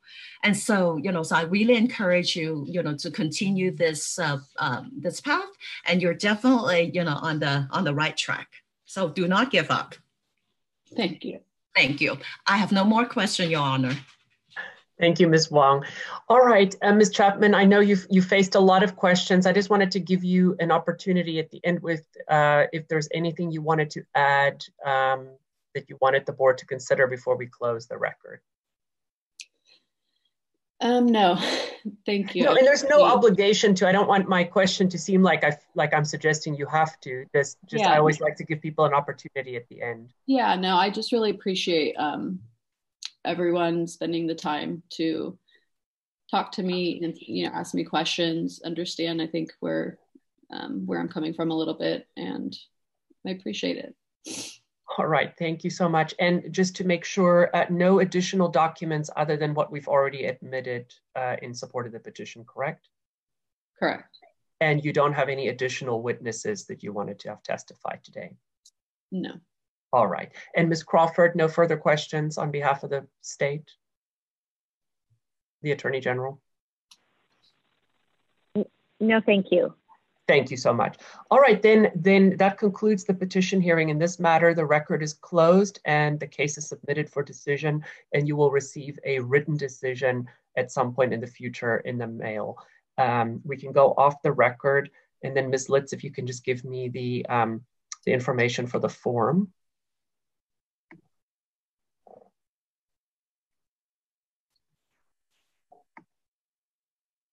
Yeah, the time ending is 124 okay. and I have um, 58 pages. Thank you very much. Um, and so I will sign that form um, and th they will be, I'll make sure that our staff will serve a copy on, on that on you as well if you want to order a copy of the transcript at any point in time, all right? Thank you so much, Ms. Chapman. All right, and, and then uh, Mr. Uh, Mr. Disposti, I'll hand it back to you in terms of how long of a break we're taking, et cetera, for lunch. Correct. Thank you, Your Honor. So it's 124, 25. We are going to take an hour break to 225 sharp. I invite everyone to remember that we have two more petitioners to hear, um, and then we have we're going in closed session. So. Um, Ms. Wong, I see you raising your hand. thinking about in consideration of the time, you know, maybe we should just come back at two o'clock. You know, we we don't want to make keep the judge and you know keep uh, Miss Crawford overtime working overtime. So maybe we can. No, just... I just uh, Miss, thank you for that. I I just um, I just want to be considerate consider the fact that last time was really a heavy load and 30 minutes doesn't really help us to recharge and so um, I know we uh, polled the board before. We asked them if it was okay. So I would like to stay with the same decision. I feel I had the same concern about timing, but I don't want to change it around because it was a big concern last time. Uh, people really needed to rest. Um, so if we can come back at 225 sharp and, and, and go with the proceeding as expected, I would really appreciate that. Thank you. Thank you, Christina. Um, so we will re-adjourn at 225 and uh, that was my talk. There we go. okay, bye. bye. bye.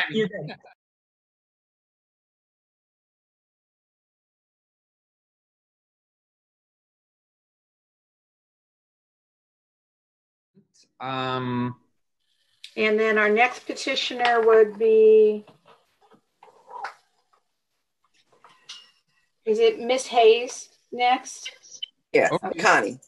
Then I'm reopening officially the meeting. Welcome back, everyone. Um, my name is Max Disposti, board chair of the Board of Behavioral Sciences. We are reconvening for these afternoon sessions at 2.27 p.m. on November 5th, 2020. And um, our judge, uh, Van Rooyen will take um, on the proceeding. Thank you so much, Your Honor.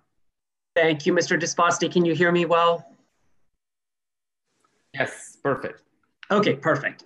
All right, and do we have Ms. Hayes here? Um, can you hear me well? Yes, I hear you. Um, it says the host, okay. I got there we go. There we can see you. I thought we saw you earlier today, and now yes. uh, now we can see you again. Fantastic.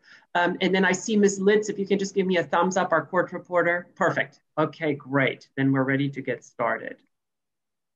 All right, we are on the record before the Board of Behavioral Sciences, Department of Consumer Affairs for the state of California.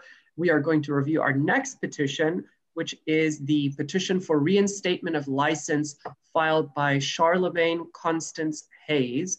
That is LCSW 16197 and OAH case number 2020100353. My name is Wim Van Rooyen. I'm an administrative law judge with the Office of Administrative Hearings for the state of California, and I've been assigned to preside over this matter today.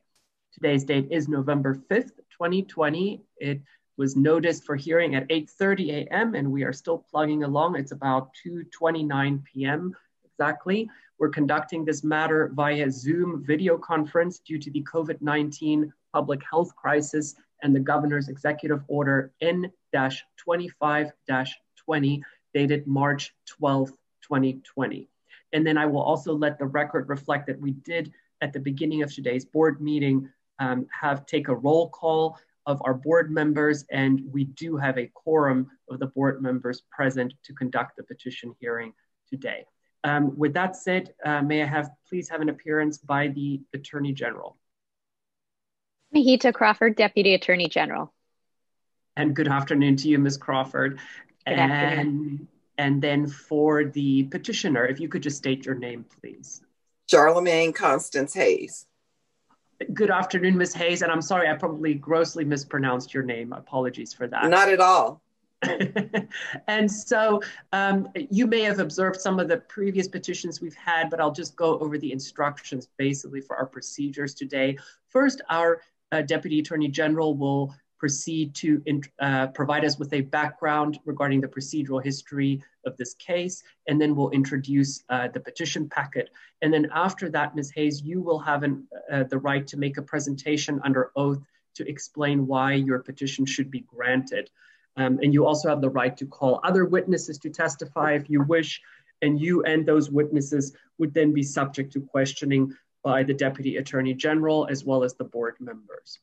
And again, uh, the board today is primarily concerned with the rehabilitation that you've engaged in um, since the discipline was previously imposed. Uh, while we will touch briefly on obviously the, the previous proceedings, uh, the main focus is really going forward from that point, uh, what rehabilitative efforts you've engaged in and what would allow you to practice uh, safely and competently uh, in your professional capacity in the state of California. Uh, the board has had the benefit of reading uh, your petition package, and so there's no need to repeat everything that's included in there, but you are certainly free to highlight or emphasize any portions that you uh, wish and that you feel appropriate. And then after the hearing, the board will go into a closed session to deliberate. And uh, so you won't receive an oral decision today, but you will receive a written decision in the mail at some point in the future. Um, with all that being said, Ms. Hayes, do you have any questions before we get started? No. All right, thank you so much. Then I'll turn it over to Ms. Crawford to provide us with an introduction to the case and introduce the petition packet. Okay. Thank you. Good afternoon. Anahita Crawford, Deputy Attorney General, appearing on behalf of the Attorney General's Office, pursuant to Government Code Section 11522.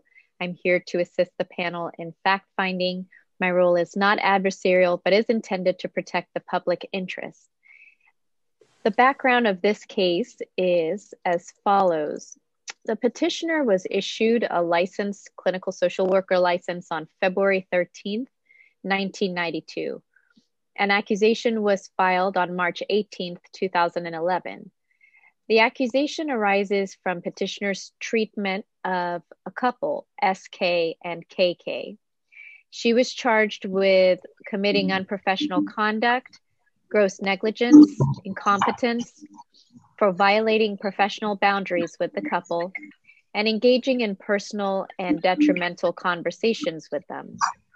She was charged with using drugs in clinical social work when she facilitating a facilitated a mm-hmm. meeting between SK and petitioner's boyfriend, mm-hmm. where her boyfriend sold SK marijuana.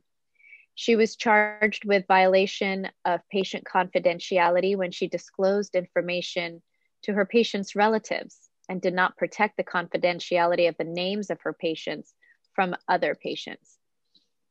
Acting beyond competency, she was charged with acting beyond competency by giving medical advice to SK and KK, causing patient harm, and she was charged with fraudulent billing for, for sessions that did not occur.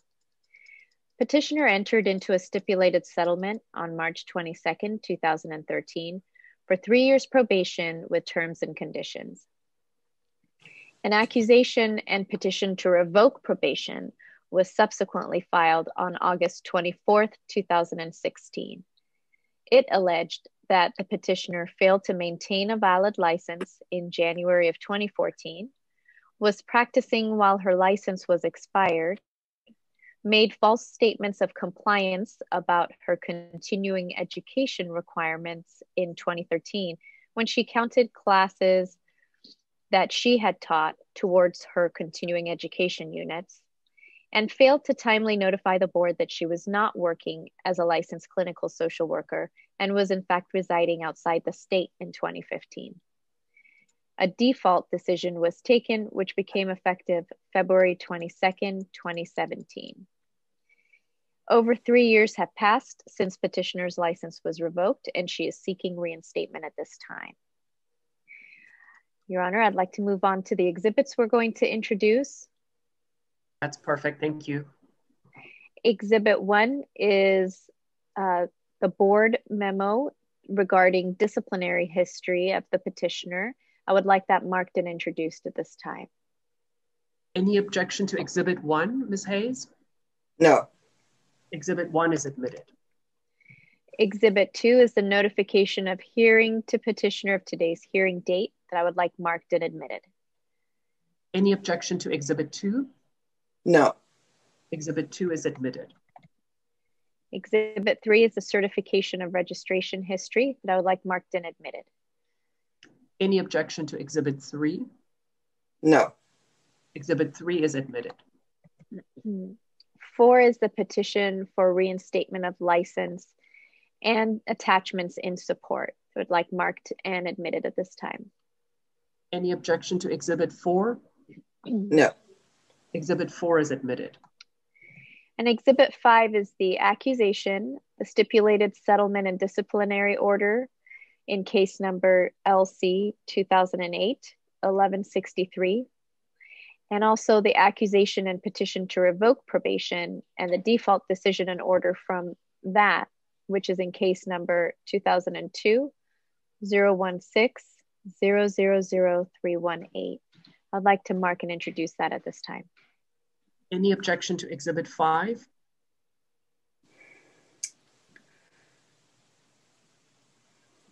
Um, no, I won't object to the exhibit. All right, so exhibit five is admitted. Thank you, Your Honor. I don't have any additional information to present at this time. Thank you very much, Ms. Crawford. All right, so uh, Ms. Hayes, now is your opportunity to present your uh, case in support of the petition. Is it your desire to testify today? Yes. All right, if I could have you raise your right hand and I will swear you in. Do you solemnly state under penalty of perjury that the testimony you're about to give shall be the truth, the whole truth, and nothing but the truth? Yes. Thank you so much. And um, since you don't have an attorney to ask you questions, um, I'm just going to have you testify freely and let us know what you believe is relevant in support of your petition. As I mentioned earlier on, you can assume that the board members carefully read your petition and the, the, attachments to it, so you don't need to repeat everything in there, but you can certainly highlight some uh, or emphasize portions of it, uh, provide additional explanation um, as you wish. Um, and then once you're done with your uh, uh testimony, uh, then the Deputy Attorney General may have some questions for you and board members may have some questions for you as well. All right. Um, so okay. if, if you get any question by anyone that's confusing or you don't understand, just let us know um, and we'll make sure we get it rephrased or clarified for you. If you do answer a question, we'll assume you understood it. Fair enough? Okay, Your Honor, but may I just say, I was I have an attorney, Dr. James Franco. I'm, I'm sorry, Dr. Stephen uh, Franco, but he had an emergency today. His daughter was assaulted, so she's in the hospital. So um, Andrea Bertram Mueller, my analyst, said that she was going to let her manager know. That's why my attorney wasn't present at my oh. hearing today. Understood. So I'm going to go forward. Uh, okay, so so then I, I, do just have a couple of questions for you about that. First of all, I, I, apologize. I didn't note that you were represented by counsel. For some reason, at least yes. OAH records didn't reflect that. So right. Uh, so uh, I in the form it also said no representation. Uh, also, and I didn't understand that because Dr. Franco has been my attorney of record since the beginning. Okay. All right. Well, in any in any event, my apologies. I didn't want to brush over that matter. I just I I, I wasn't aware. Um, so let me ask you, and I don't need you to get into a lot of information about it, but but so you are represented by who is the attorney's name? Dr. Stephen with a V Frankel. Okay, and so he's had a medical emergency or a family member's correct. All right. So here's my question for you. Um, is it still knowing that you're represented by counsel um, and it's a last minute emergency, is it still your desire to proceed representing yourself today? Because, um, you know, if there's a request for you to continue this to allow your attorney to represent you, um, I will entertain it. I, I'm not having, I would have to consider it, but I would entertain it if that's your request. I can't wait any longer. I, I, I'm good for what I need to do going forward. I would miss teaching the spring semester, and I've waited all year for this hearing and been put off and off and off. I'm I have no choice but to go forward and just hope for the best. And he tried to uh, advise me as best he could by uh, email, uh, and so we're just gonna lay it out there. All right, and so and, and that's perfectly that's a fine choice to make to proceed. I, I I don't mind one way or the other. I just want to make sure that you know you do have the right to request a continuance um, right. if you wanted that, and then I would consider that. So, but is it your desire not to request a continuance and instead to proceed today uh, representing yourself? Correct. I'd like All to right. continue. All right. Thank you so much. I, I, appreciate that clarification, and thanks for bringing the issue to our attention as well. All right. Um, all right. So then, with that said, I, I, I've sworn you in. Whenever you're ready, please go ahead and testify, ma'am. Okay. So you don't want me to do like the previous candidates and tell you about the infractions. You just want me to let you know what I've done to rehabilitate myself? I, I, I don't want to constrain you in any way. If you think it's relevant to talk about some of the previous infractions in support of your petition, you're more than welcome to. The only thing I was saying earlier on is that the main focus of the board today is your rehabilitative efforts since then. Um, but sometimes people decide it's it's they want to talk about it because they want to either show how they've changed or why, or they may want to explain extenuating or mitigating circumstances that took place around the time. So I don't want to constrain you. You can present whatever evidence in support of your petition you think is relevant. That's that's totally up to you. Okay. Okay. Well, I think it's probably just safer to go ahead and review this than just to get it on the record, or if nothing else.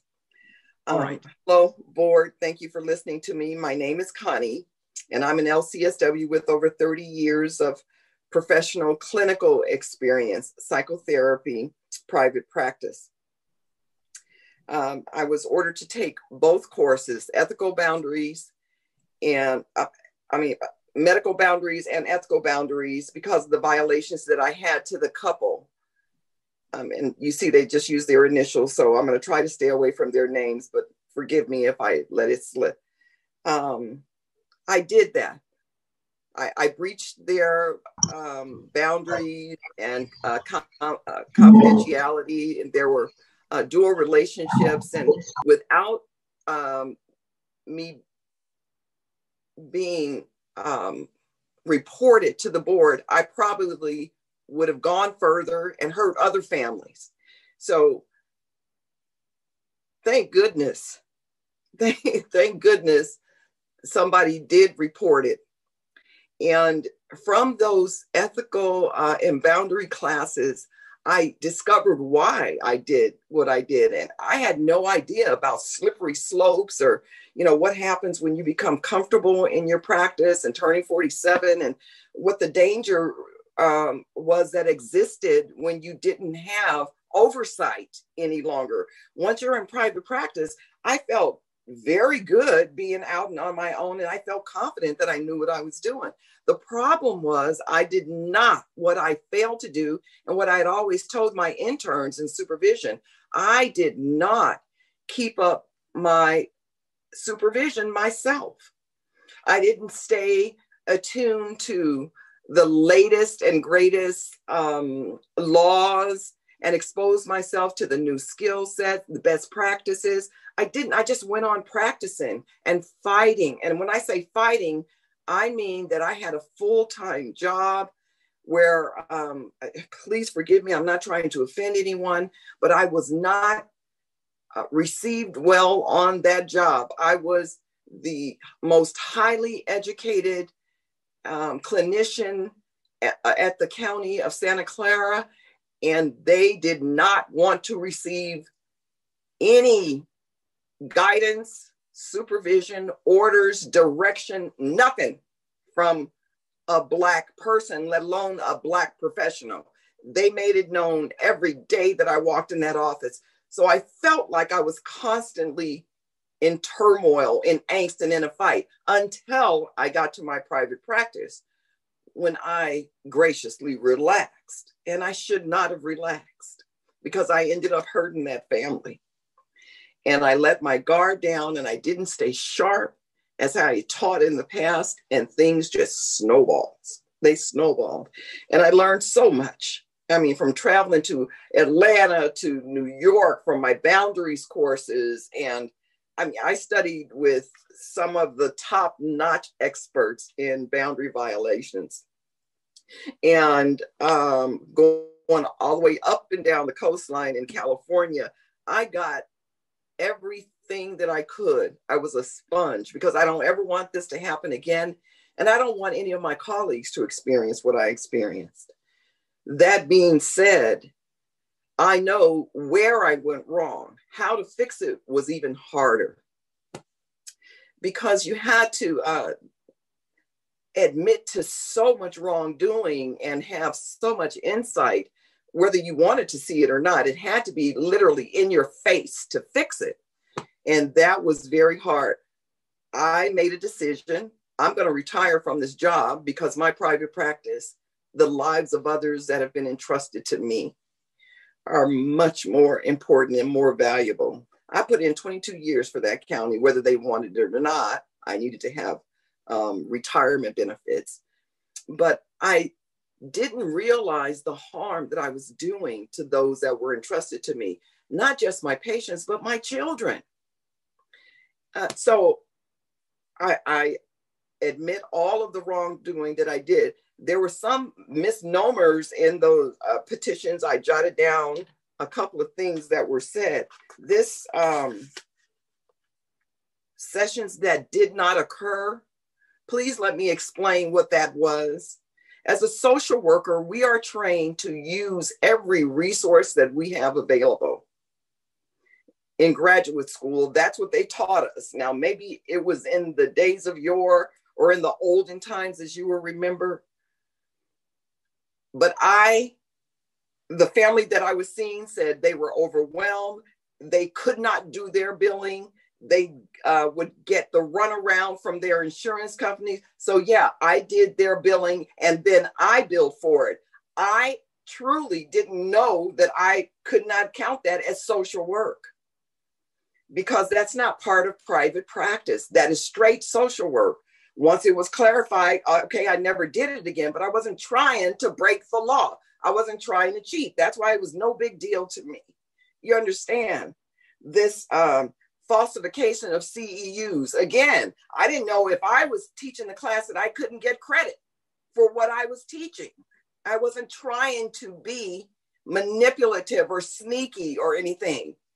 And the way that um, it was told to me by uh, the board was no, you can't do that. Go get some real CEUs. So from that point forward to today, I get my CEUs outside from CE4Less and I pay for them and there's no discrepancy. And that's the way I'll train my new interns. You see? So, yeah, I have no excuses for the wrongs that I did that were in the accusations and the petitions.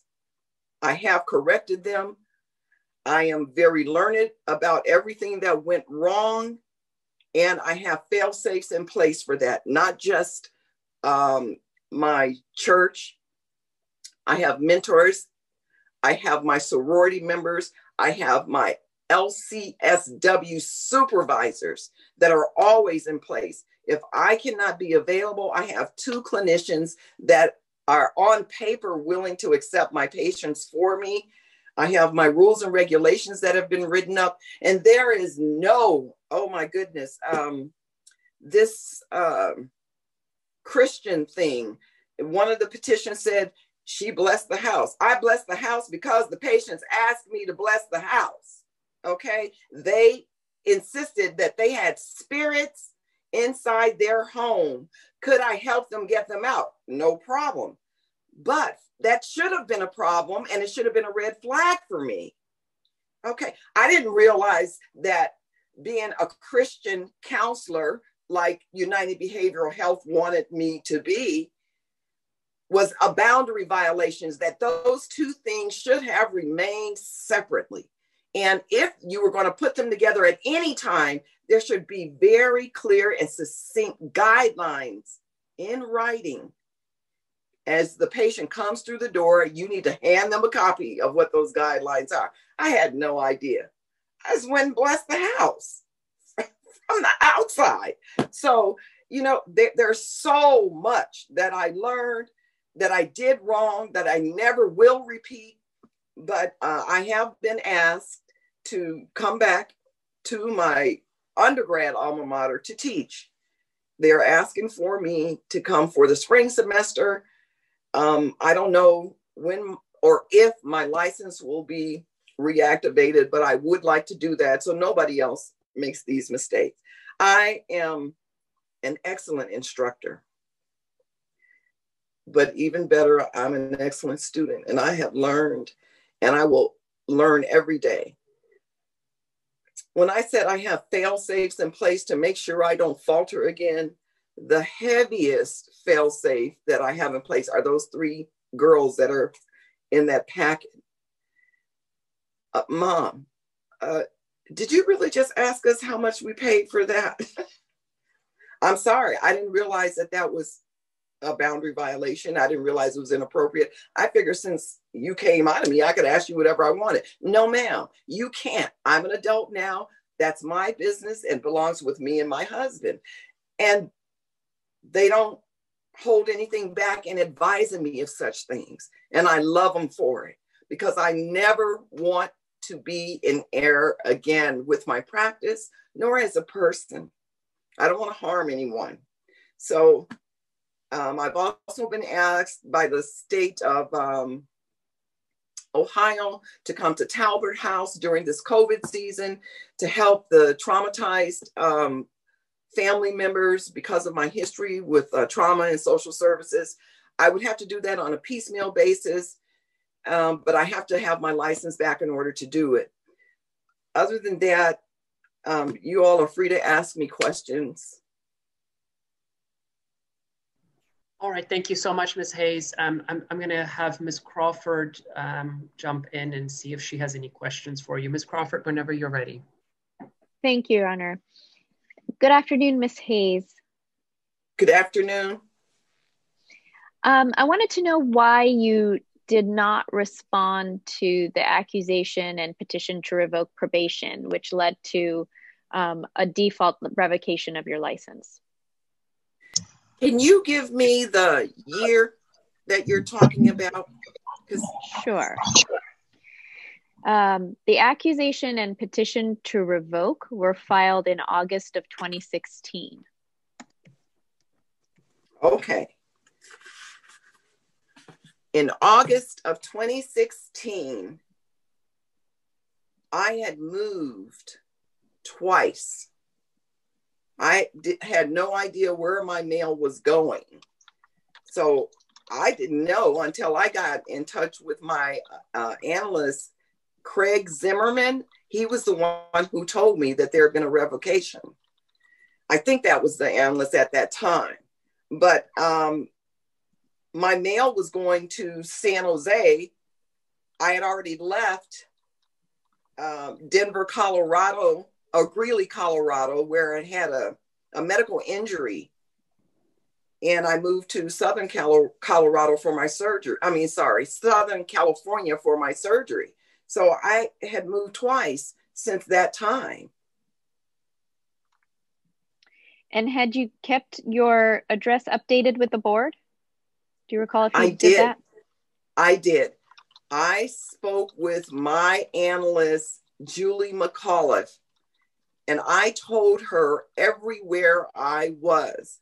I also asked her do I need to write you something or send you something? No, was her response. You've been in contact with me. I can reach you whenever I need to. I got both your numbers right here, no problem. She Okay, told so- me I did not to send her anything. Okay. Um, so you provided Miss McAuliffe with your address, but you didn't fill out any kind of form that went to the board to update your address of record. I didn't fill out any kind of form. No. Okay. Okay. And since your license has been revoked in 2017, where have you been residing? Southern California, Los Angeles, and Ohio. Okay. How how um how long do you remain in California and how long do you go to Ohio for? I've already moved from Southern California. I'm no longer in California Okay. um, at all. I've already moved everything over to Ohio, waiting to teach. I'm not going Okay. back. Okay. Oh, you're not coming back to California. not unless the board says you can only practice here or something. Then I'll come home. Okay. So why are you seeking house there? I, I see. And why are you seeking reinstatement of your California license? Um, Ohio has said that uh, they would grandfather me in here uh, to, in the, to this state, and then I could practice here. Uh, but it's it's past time, like three years past, when my license should be reinstated. Um, the last form that Exhibit 5 that you wanted to talk about, I, I don't agree that there should have been a revocation. There should not have been a revocation. I did what the board asked me to do. I stayed in contact with my analyst. I paid all of my fees. I attended all of my classes. I did my supervision and my psychotherapy. And that uh, something happened with that analyst with her uh, uh, lack of professionalism. There was no reason that the license should have been revoked. Okay. Now, with um, the fact that Ohio has said you can get grandfathered in there if your license is reinstated here, what Correct. if it's not reinstated? How can you um, have your license? How, how will you obtain a license in Ohio if that's your plan? I won't. I'll just come back to California and start over. I'm going to practice. I'll just start over. Okay, so you wouldn't seek licensure in Ohio? No, if you won't reinstate my license here, I mean, for the reciprocity, the grandfathering in to happen, I'll go back to California and pick up where I left off and try to get my license there and just move move back. Okay. So I did want you to kind of walk us through your, your petition packet because there's a lot of information in there. Um, that maybe needs a, a, little bit of your explanation for us to fully understand it. Um, first of all, I wanted to know because a lot of a lot of your character letters are ad- are addressed to psychotherapy consultants. Yes, that's and, my private practice name. The petition packet. Can you have? Do you have a page number? Sure. Um, do you have the packet that I sent you? Because uh, those were pa- those were page numbered. Uh, that's tiny. It's on the it's on the phone. Okay. So, oh, okay. But, but I have a hard copy with some attachments that I think that petition is included in here. Okay. So um, if you so tell the me what petition is sure. The petition is what you filed with the board to get your license reinstated. So it'd be all oh, the handwritten your documents. Okay. Yeah. Let's do that. And and you had lots of attachments to to that right some character letters and the pictures of the girls okay all uh-huh. right. yes let me pull that up okay i'm there okay Page so 14. what i am looking at um is for example there's a letter dated february 4th 2020 the letterhead says Santa Clara Valley Health and Hospital Systems, and mm-hmm. it's mm-hmm. from Andrew Pham. Andrew Pham. Mm-hmm. Okay, and so that's that's reference. addressed to psychotherapy consultants, and I was wondering right. what psychotherapy consultants is and how it relates to you. Yep, that's the name of my private practice, psychotherapy consultants.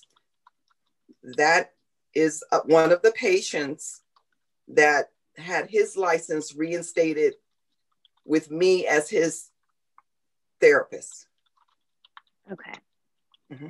So I, I am I'm also noticing it's dated February 4th, 2020. That's the date so, that I asked him for the letter. Okay.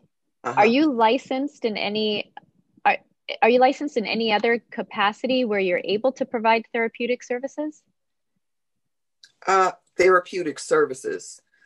Not therapeutic services, but I am licensed. You, you, I have like 11 licenses in other states for my insurance adjuster. I had to have those to get to Colorado. Okay, when, when so the when let me ask a clearer question because I don't think okay. I was very clear. Um, Actually, and sorry, Ms. Ms. Crawford, nope. this is Judge Van Rooyen. Um, I'm sorry to interrupt your questioning, but I just want to remind both both the questioning and the answering party. Um, please make sure, Ms. Uh, Hayes, just to wait till Ms. Crawford is completely done with her question before you start answering.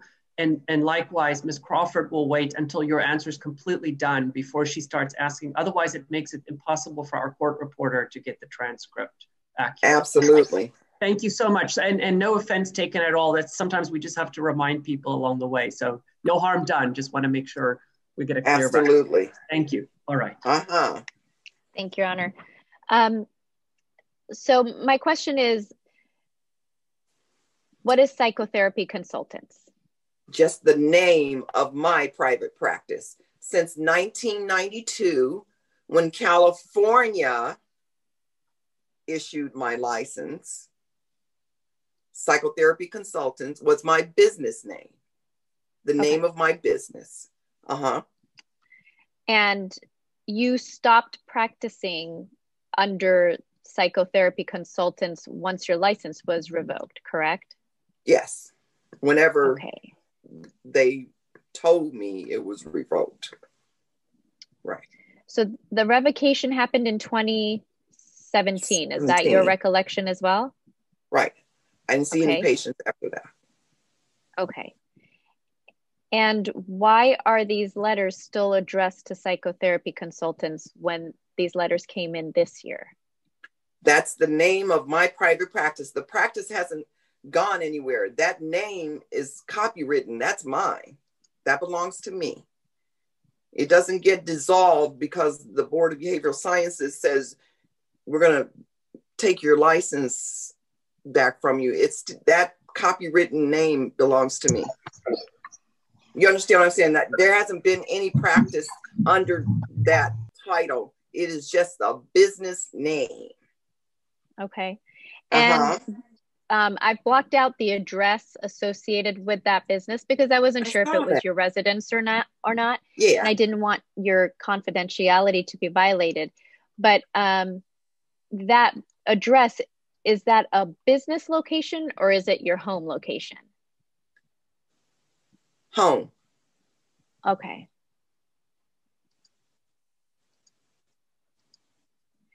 And um, you also provided, and I'm going to exhibit, just for the record, it's exhibit four, page 14. There's a picture of um, three young women. Mm-hmm. And I believe you alluded to those are your daughters? Those are my three girls. Okay. And was there anything about this document you wanted to share with us with regards to your petition? Those are the three that keep me in line that say, Mom, that's a boundary violation. The older girl has a special needs daughter. Her name is Kyla. She is now turned eight. I was the one that was teaching Kyla before COVID happened. Once COVID happened, I ended up teaching all the kids, all three of her babies. Whether there's a COVID or not, I'm not going to stay here at the expense of my license she'll have to get somebody else to do that if California says, we don't care about reciprocity. We don't care about grandfathering in. We want you to come back here and do more mediatorial work and go back to California, then I'll go back to California. But that older child is attached to me because she's sick. But um, other than that, they rely on me. And I got those three children when I was, um, what do you call that? Violating. When I began that slippery slope in my private practice, mm-hmm. I was mm-hmm. raising those girls by myself. Their Chinese dad wanted boys. he was raised in the caste system. He told me they weren't boys. I could pay for them to go to school myself. So I had to work those two jobs private practice in the evening, county in Santa Clara straight days. And on the weekends, I taught them and took them to church. So when I tell you I was tired, there was always a fight. I fought at home and at work. The only place that I remained comfortable was my private practice, but it was too comfortable. It was the wrong place. Boundaries were blurred. You see, I got other needs met there that I shouldn't have because of what was going on in the other parts of my life. But I didn't learn that until I violated. You, you see what I'm saying? So those three girls helped pull me out. And because they are scholarly now with their MBA,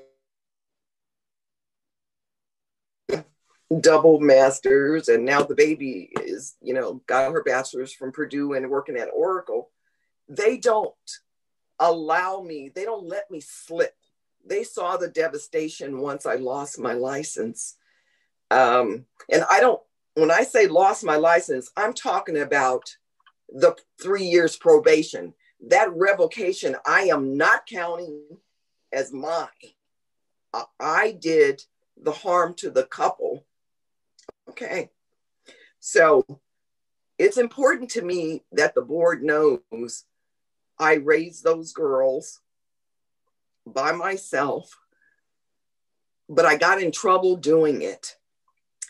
Never are my patients supposed to have seen them, met them, commented on them, bought any Girl Scout cookies. I didn't even realize that that was a boundary violation. You understand what I'm saying?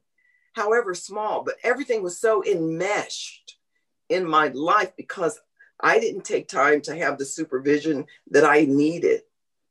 That I now need to go back and tell everybody this is how you do it, and you have to mm-hmm. stay on top of it. So there's a lot of um, learning that I had to do, relearning, unlearning, and now a lot of teaching. But I don't, I, I don't want to lie and I don't want to misrepresent and say, well, you know, the board did everything right by me. No, you did not. I was a good rehabilitative candidate. I paid my dues, and then something happened with my analyst that wasn't proper. And all of these horrible things came out on paper that I shouldn't be held accountable for. But uh, my attorney is not there, so I'm going to do the best I can and going forward. Okay. Um, I also wanted you to explain um, why you put in another document. It's for the record, it's Exhibit 4, page 17, and it's okay. got a heading of Certificate of Insurance. So, what is this document, and why did you include it in your packet? You wouldn't believe it if I told you. Um, once, once that analyst told me, um, no, everything the board tells you to do, you got to prove it to us. That's what Julie McCullough told me. I said, Oh, okay, I'm sorry, I didn't know. So I started submitting my NASW payment that I had to keep up with every year, whether I worked or not, my malpractice insurance, whether I worked or not, my CEUs, whether I worked or not.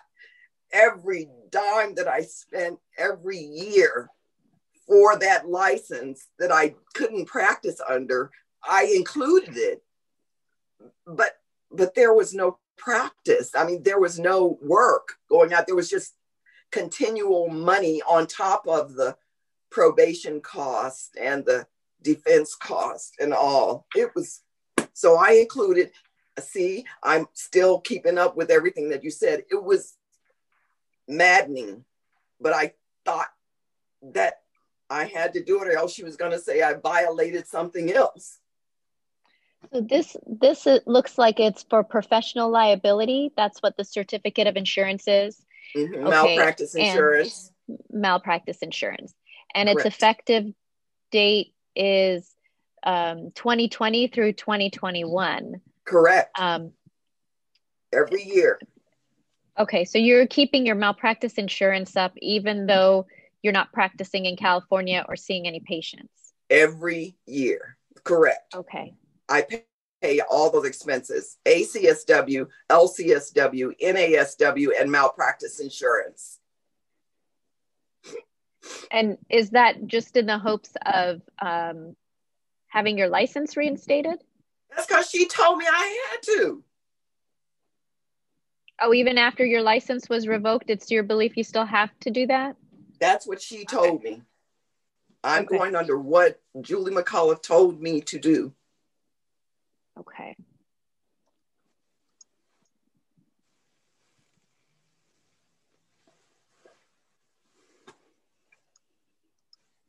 And I see that you've taken um, several continuing education courses um, in 2019 and 2020. There was one document, and I'm looking for it right now, that had to do with a formula, a calculation. Yeah, that's my having to do with slope girl. okay. Yeah. Can you ex- can you explain that because I don't think it's um, self-explanatory. Okay, yeah, there's two of them. The first one is on page three. That is my b- boundary violation. Okay, and that's going to be exhibit um, four, page 32. Correct. Okay. When you have a, a boundary violation, all it says is that you have risk factors and vulnerabilities. You put those two together and they're like potentiated.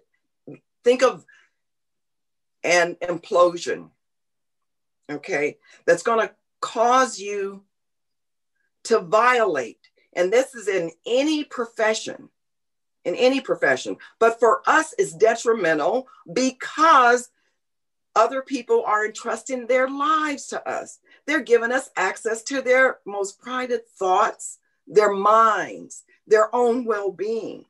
You put this implosion that's going on in us, and you have all of this um, damage underneath. That's the outcome. Just think of it like a, a fraction. My risk factors that are up top, plus the vul, I mean, times the vulnerabilities that are on the bottom are nine times six. And think of synergy and potentiation. That's not going to be 54. That's going to be something like 2000.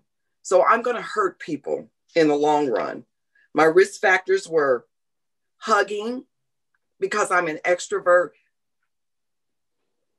um, not having a commercial office. My office was in my home, but that office being in my home gave my patients access to my boyfriend, and he met the, the husband of that couple.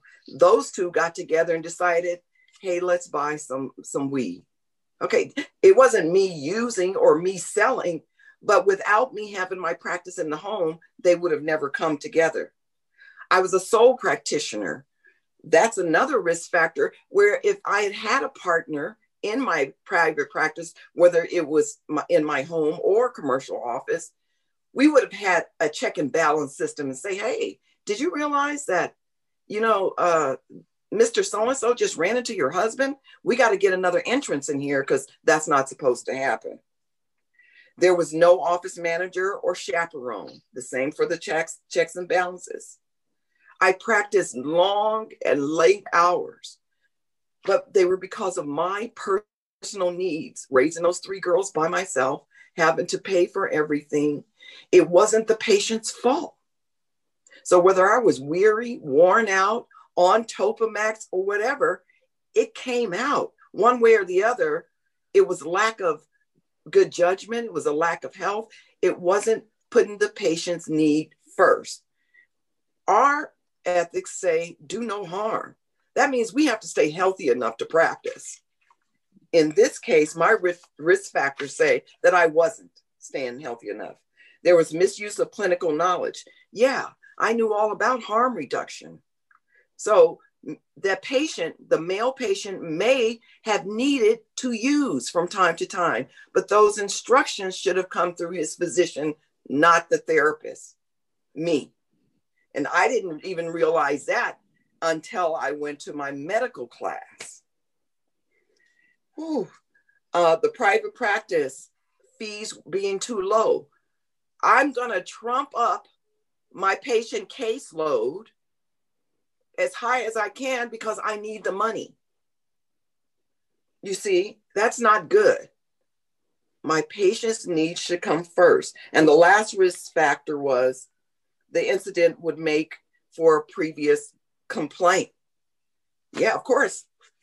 You take any one of those things, there could be a complaint launch, launch. But for me, I had them all. Those plus the six below, my vulnerabilities. You want me to go through the vulnerabilities too? I can, well, I don't first, mind. Go first, ahead. I'm curious about um, where this formula came from. This is my my medical ethics class. Okay.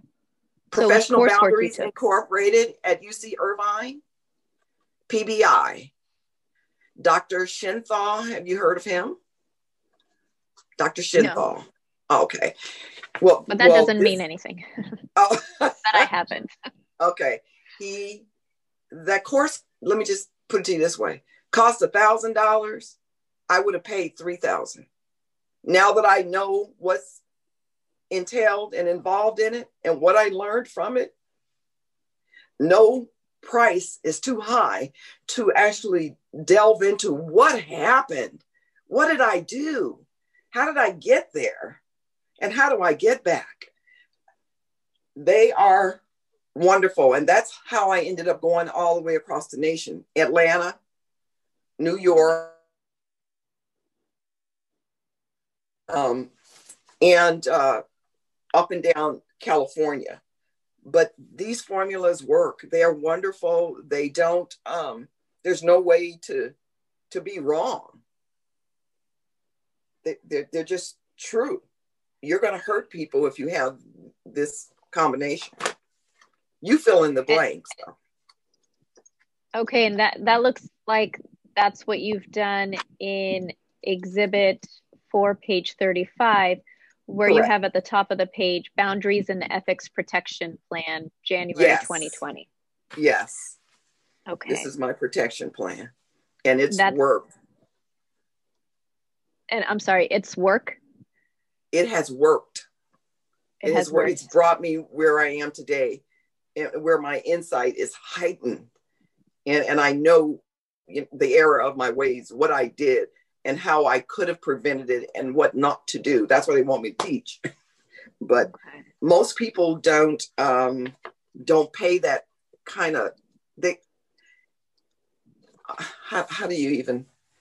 Um, it, it hurts to to do this. This is extremely painful. It is. I would say, let me put it to you this way: most people would have to be hypnotized to delve this deep or stay in therapy for years to extrapolate everything that's wrong with you. But of course, I believe in our profession. So I let them dig and I embraced. What, what do you mean? I wasn't supposed to sell them the Girl Scout cookies. My kids, they do this and the other. This isn't about your kids. This is about a private practice where you're telling people to come in and get their mental health needs met. You know, and I'm telling you, Professional Boundaries Incorporated, they break it down and they break it down in love. We had doctors, nurses, attorneys, shaman. I mean, you name it. Everybody was there getting the help that they needed. It's very in depth and intense. So, uh, it's clear to me that you've um, certainly done a lot of work around boundaries. Um, mm-hmm. My question, though, is that in your statement, you have said that you are um, very skilled, you're very well educated, you've had mm-hmm. teaching jobs. Um, yes. Why? Why did you not recognize simple things well, things that were boundary violations. Why were those things not in your knowledge base when you are so skilled and educated in your work? Because what I failed to do was keep abreast of the latest and greatest. All the dual relationship classes that the County of Santa Clara offered, I thought I knew those. I didn't go. I didn't go until I was mandated to go. The all the ethics courses, I didn't go. I thought I knew them. I had already taken ethics, law and ethics as an attorney. I mean, as a class at McGeorge. I was like, I don't need that. Legal ethics are totally different from our ethics. But I did not, I was ignorant. I truly, truly thought I knew it all. And I'm telling you, I did not realize how much I didn't know until I went to both sets the legal, um, ethical, and the medical boundary courses. You had to go to both sets to realize what's missing. There are so many different pieces. Attorneys can do different things than, than psychotherapists can do. They're two totally different avenues. But no, I wasn't aware because I didn't keep up with those courses. Okay. Mm-hmm. So, if your license is reinstated, what is your plan? With to do what do you plan to do with your California license? Well, it depends. Uh, if it is reinstated, I don't want to go back to California. I'd rather accept the teaching jobs in the Midwest uh, to come to do what I'm telling you. you know, the teaching jobs for health and human services and all the social work uh, courses in humanities. I'd rather stay out here closer to the family. If it is not reinstated, then I'll go back to California and start over. I'm not giving up. Uh, you know, I got the MSW in 83. I'm not going to give up my love. I, I just, I won't. I will keep trying until I get it right. And, and, and what does starting over mean? Well, I don't know what the board requires. remember, I'm not even agreeing with that revocation part. I don't know what the board is going to require of me, but whatever that requirement is, I'm going to meet it. I'm going to exceed it. I will do whatever you tell me you want me to do, just like I did with the three years probation, and for some reason still wasn't good enough. Uh, and and start over. If you say no, we don't want you, I will go all the way through my written and oral boards again. Are you currently to, licensed in Ohio? I'm sorry. In, in order to practice, that's all I say. Okay. Um, are you currently licensed in Ohio? Not as a psychotherapist. Okay. And is there any impediment to you becoming licensed as a psychotherapist in Ohio? Uh, no, they've already said they would accept me being grandfathered in if my license is reinstated in California. The biggest impediment would be money and time. I don't want to restudy and take the written and oral again if I already have that foundation. Plus, I already know what not to do on top of it.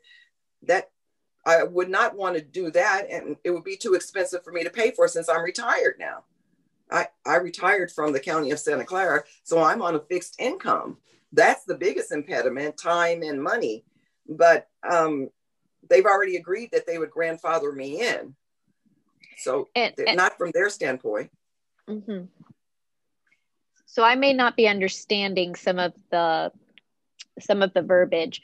Um, okay. I understand being grandfathered in means that you wouldn't have to sit for any exam with the Ohio board. Is that correct? Correct. Okay. So if you're not grandfathered in, don't you still have the opportunity to take the exam and apply to the board in Ohio to become um, a social worker? Right. But why would I do that if I've already done it in California? And so my question was if if you're not reinstated in California, you would mm-hmm. prefer to move back here and get reinstated versus staying in Ohio and taking their exams? It depends on what what California's requirements are. I do you know those? I, I don't know those. I don't know what California standards are, and I'm not in agreement with having been revoked in the first place. You, understand what I say? In my mind, I'm still supposed to have a California license. It that something happened that okay. I was no, I I don't think I can I don't think I can rightfully answer your question until I know what uh, decision the board has about my analyst or what fault happened with my analyst or until my case is looked at because if you look at the wording on what you guys sent me uh, as far as what I did for it to be revoked, that's I'm not in agreement with that. But I agree to the exhibit being there. But I, mm-hmm. I mm, so I think there's something the piece missing, if you will. But I'll go back to California if I have to, if that's where I need to be to practice. Okay. So your license was that default was taken against your license in February of 2017.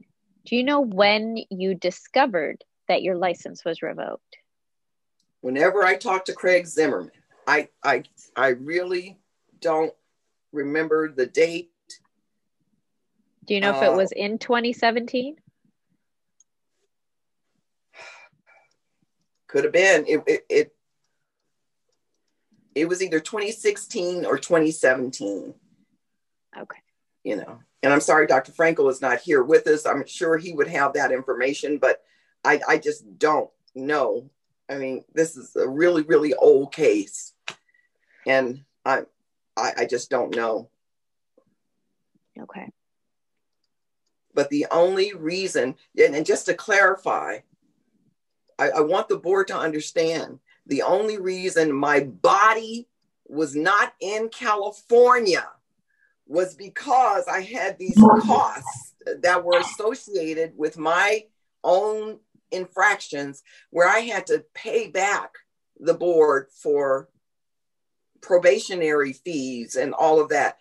So I retired from the mean job at the County of Santa Clara, got licensed as an independent real estate adjuster, and got a job in Colorado making $2,500 a week. That meant I could pay for the girls' tuition and my Board of Behavioral Science fees at the same time.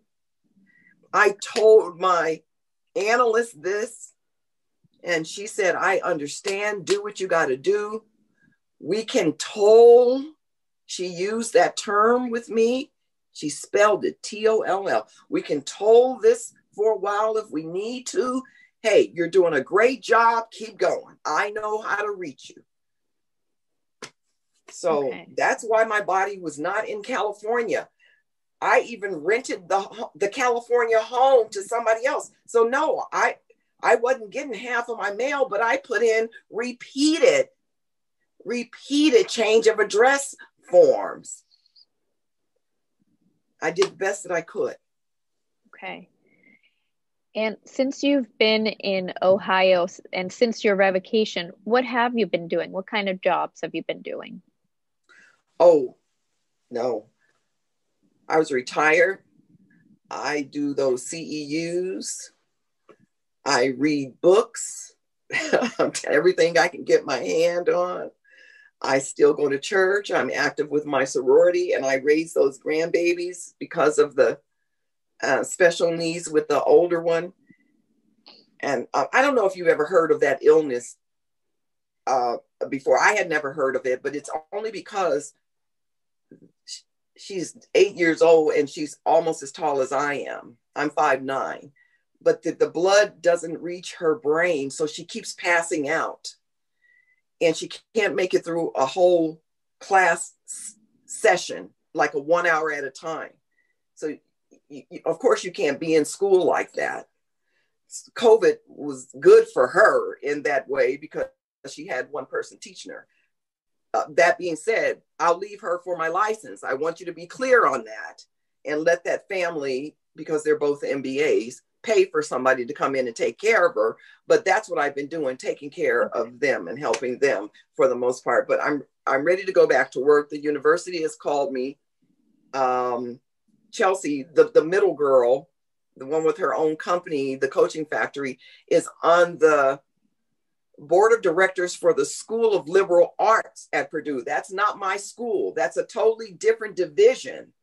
So I'm getting hit from every angle saying, Are you still coming to teach? Where, where are you? We need you now.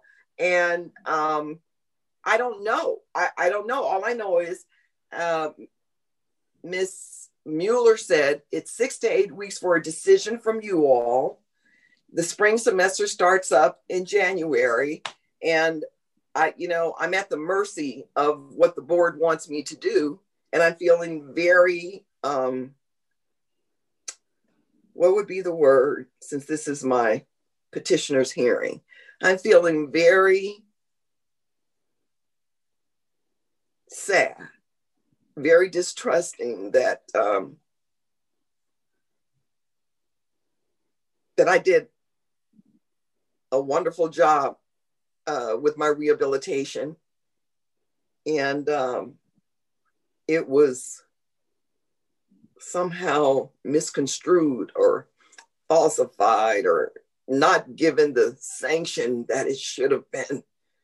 And for three years, I was out of practice when I should not have been. I, I, I should not have been in that predicament. I should have been in the predicament where I was with these charts, you know, fixing this and correcting this. This was all me. But uh, after that time, I paid my penance. I, I righted the wrongs that I had done. And uh, then something else escalated. But um, I'm so sorry that Dr. Frankel can't be here, and I, I, I, I don't mean to take up much more of your time. I just, I know that I can help people now without hurting them, and that means something to me. Thank you very much. I don't have any other questions. Thank you. Thank you, Ms. Crawford. All right, I will turn it over to the board members to see if they have any questions. And I'm going to start in reverse alphabetical order as promised. So Ms. Wong, I believe you're first. Do you have any questions for Ms. Hayes? Yeah, just a very, very simple factual question, Ms. Hayes. Um, I want, first, I want to thank you for being so patient and um, waited for so long, you know, for this hearing. Um, I just want to um, clarify, um, since your license being revoked, did you uh, practice any psychotherapy, whether it's in California, Colorado, or or uh, Ohio? No. Okay, so um, and you did say that you know the psychotherapy consultants is your company. Mine. Okay, so you know, and I did notice that uh, you know you have uh, you know the the statement about the boundary and ethics um, ethics pro- protection plan. Mm-hmm. So is it, you know, that the letter, is it from your own company, the letterhead? You know, the, I, I would, so it's, you know, that letter, um, let's see. Oh, oh, you're looking, oh, because it's still on my, oh, on my letterhead when I wrote it to Dr. Schenthal. No, yeah. he had to approve this plan. Oh, I see. And okay at this time, my practice was still open when I wrote this. Okay. Maybe okay. that's what some of the questions. Yeah, I, my practice was still open when I wrote this. They hadn't violated me with this revocation thing yet. Oh, I no, I still had um, patients at this time. Michael and Adamson was still coming to me then, but I still have it now too. But I, I haven't don't have any patients coming through there. I just, sorry, this is Judge Van Rooyen. I just want to make sure the record is clear. What letter are we referring to? Um, uh, Ms. Crawford, you can jump into if you know what you think, if, if you think. So it will be the, uh, the letter uh, that Ms. Hayes wrote and it titled, um, you know, it has all the, uh, the Greek letters and it's actually, it's the last letter uh, in our attachments So that letter has how many pages? Has uh, eight pages. It's exhibit four. Exhibit four, the last letter. Yes. Yes. Okay, thank you so much. I appreciate that. I just want to make sure the record's clear what we're looking at. Yes, yes. And thank you, Judge. Um, I actually want to, you know, just point out because, you know, Ms. Hayes, you're still using your LCSW license uh, number, you know. And, Always. Yes. And so, you know, I just want to make sure that you, you know, you, you know that, uh, um, you know, if you're when your license is revoked and you know you really are not supposed to use the LCSW title, and so I was just a little confused. So thanks for what? You mean my four alphabet was supposed to be removed? No way. Oh, Mrs. Wong, you are kidding me. Well, I don't know. Did I open a can of worms? oh my God. Oh my God. Give me my license back. oh my God. Oh no. No. I had, see? I know. Mm-mm. I did not know. Okay. I thought while all this was pending, that I was supposed to go ahead, go forward, go forward. I even signed my my petition thing, LCSW.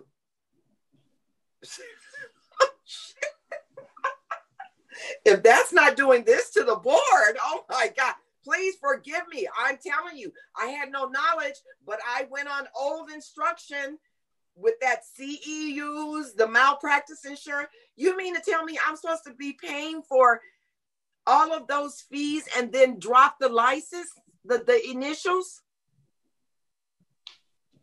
Well, you know, so I don't know how to, um, you know, practically yes, because you know, no you, way.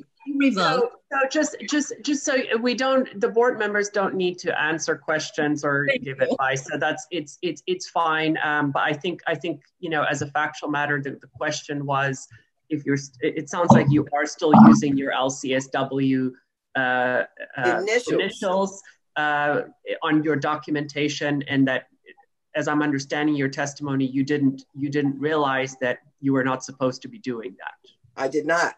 All right. Did, okay. Was there a letter or something that were, that I got that said don't use it? I, I, again, again, Ms. Hayes, uh, the board members can't answer your questions, but you can certainly tell us if you never received a letter to that effect. Oh, okay. And, uh, yeah. Great. I never received a letter that said don't use it. But I, I guess common sense would say this has been revoked. You can't, you, no, no, no, mm-mm. no. I think um, somewhere in Dr. Franco's notes, there was, um, you would see that there was something that transpired that um, I, where I asked him what I was supposed to do. And I think I was advised to keep going. But you know, I'm not trying to throw him under the bus by any means, but I do believe I had a conversation with my attorney. Yeah, and, and we don't we don't need to hear about conversations between you and your attorney. That's right, right. But oh, um, oh, thank you, thank you so much for clarifying, though. So, well, uh, until I get a decision, I'll stop. All right. Any further questions, Ms. Wong? No, no further question, Your Honor. Thank you so much. Thank you. Thanks, appreciate it. Okay, uh, let's see, going backwards after Ms. Wong, I believe we have Mr. Sovec. Do you have any questions? Yes, thank you so much. Um, I just have a couple of questions about the letters of reference that you provided in your packet. Um, letters. Ms. Crawford had mentioned the letter from Andrew Patrick Pham, which is dated on February 4th, 2020. When did you actually treat him? Ooh, two years, um, maybe three. Um,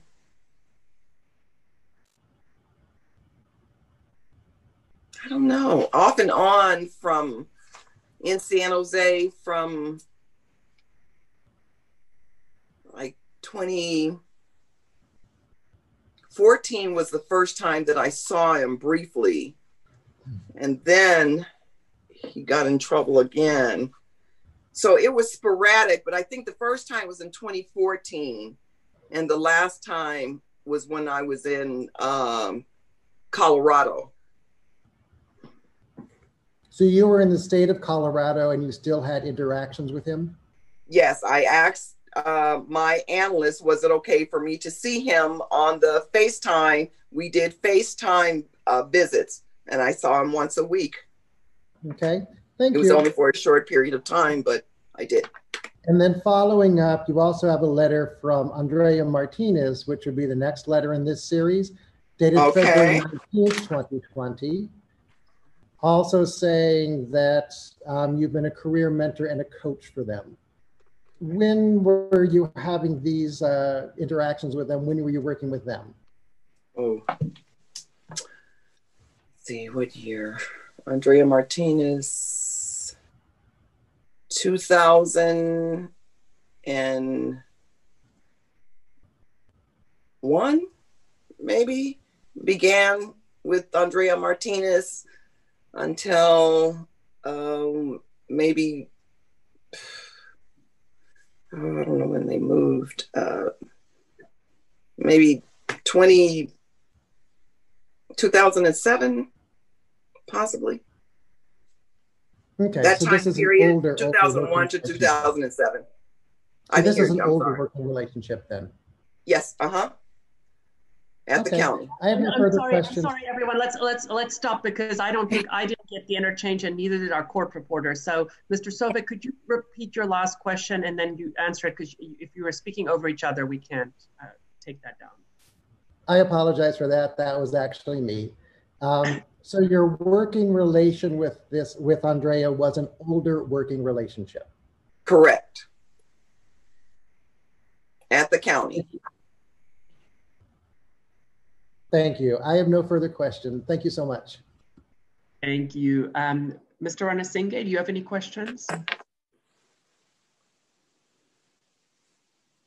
No, Your Honor, I have no questions. Thank you. Thank you very much. And then I think, uh, let's see, next would be Mr. Maddox. Do you have any questions? No, I don't have any questions. Thank you. Thank you. Um, Ms. Herwick? I do have a question. Um, let me think of how I'm going to word this. So I know you said that you maintained your license over this period of years.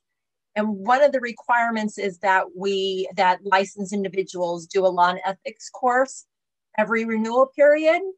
So I'm curious if that's a course that you actually took every two years or if that You is missed. Okay, I'm sorry, you froze. Okay. At the you, end. You could just re- re-ask the question, Ms. Herwick. I appreciate it. Okay. Uh, every two years, licensed individuals are required to take the law and ethics course as part of their CEs.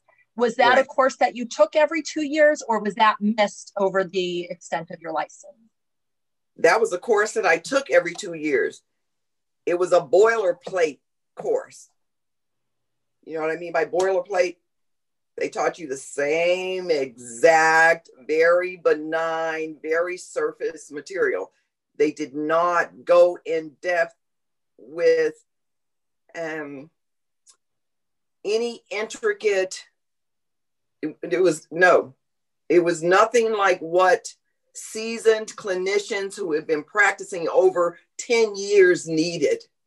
It no, it was totally different uh, than what the professional boundaries incorporated offer. And I'm not trying to plug that institution. I'm telling you that without that insight based type of um, instruction on where to to look for what's wrong, I, I, I think I probably would have been at a loss. The, the boilerplate classes that we had to take every year were only PowerPoint presentations that they would give you front and back. Here, fill this out, check off your, your list, and go get your CEUs. You know, it, it, it wasn't, it was surface level only. And they were nothing like um, the courses that we had uh, on the professional level for our infractions. Thank you. Thank you. No more questions. Thank you, Ms. Herwig. And then uh, Ms. Friedman, did you have any questions? I have one quick question. Thank you very much for being here. I know it's complicated for you, but I'm just curious. Where did you get your original degree where you got those four letters that went after your name? well, I did the undergraduate work at Purdue, and then I got where I was. Uh, then I went to Howard University and got the MSW, and I was the youngest Black to be inducted into the Academy of Certified Social Workers, ACSW.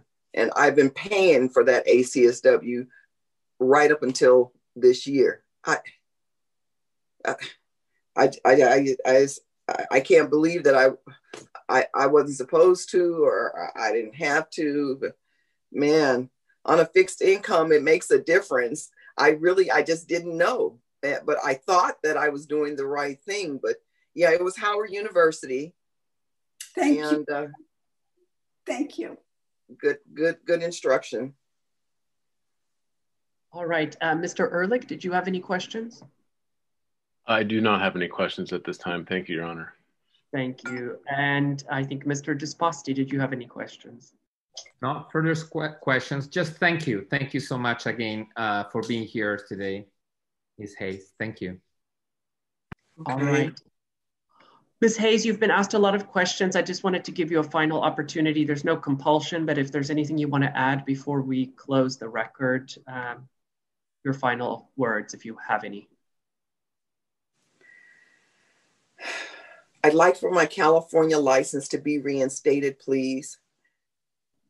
I still have a home there. I still have a home here. It should be my right to practice in the state where I gained my license. Thank you very much for listening to me and for your time. Bye. Thank you. Thank you, Ms. Hayes. Uh, hold on for just one more second. Um, I just want to make sure, just so the record's clear, um, did you have any additional documents you wish to offer other than what was introduced previously? No. Did you guys need more from the? No, no, no. I'm not trying to suggest we need more. I, I just, I always ask at the end just to make sure we didn't miss anything you might have, you might have wanted to submit. And then the oh. other is, did you have any other uh, witnesses to testify, or is it just you today? Oh, it's just me. It was just supposed you. to be Dr. Frankel and I, but because Understood. of the assault, he can't, couldn't come. Understood. No, thank you thank so you. much. Thank you for your time today. Thank you for your testimony. Um, at this point, the petition hearing is concluded. Uh, the record is closed and the case is submitted for decision. Uh, we will send a uh, written decision in the mail um, as soon as possible. Um, and and uh, wish you the very best of luck and health. Um, we can go off the record. Um, and then uh, I'm just going to ask the court reporter to give me that information, and, and then Ms. Hayes will make sure that a copy of the form gets served on you so that if you want to order a transcript of today, um, you can do that. You'll have the information to do that, okay? Okay, thank you very right. much. Thanks. Ms. Litz, if you could just give us that information, that'd be great. Uh, the end time is 349. All right. And 53 pages. 53 pages. Thank you so much, Ms. Litz. And then I'll defer to uh, the board chair, Mr. Disposti, as to our break. Yes, uh, I think it's time. We take 10 minutes break and, and it's 3.50 right now. We can reconvene at 4 o'clock. Perfect. Thank you so much, Mr. Disposti.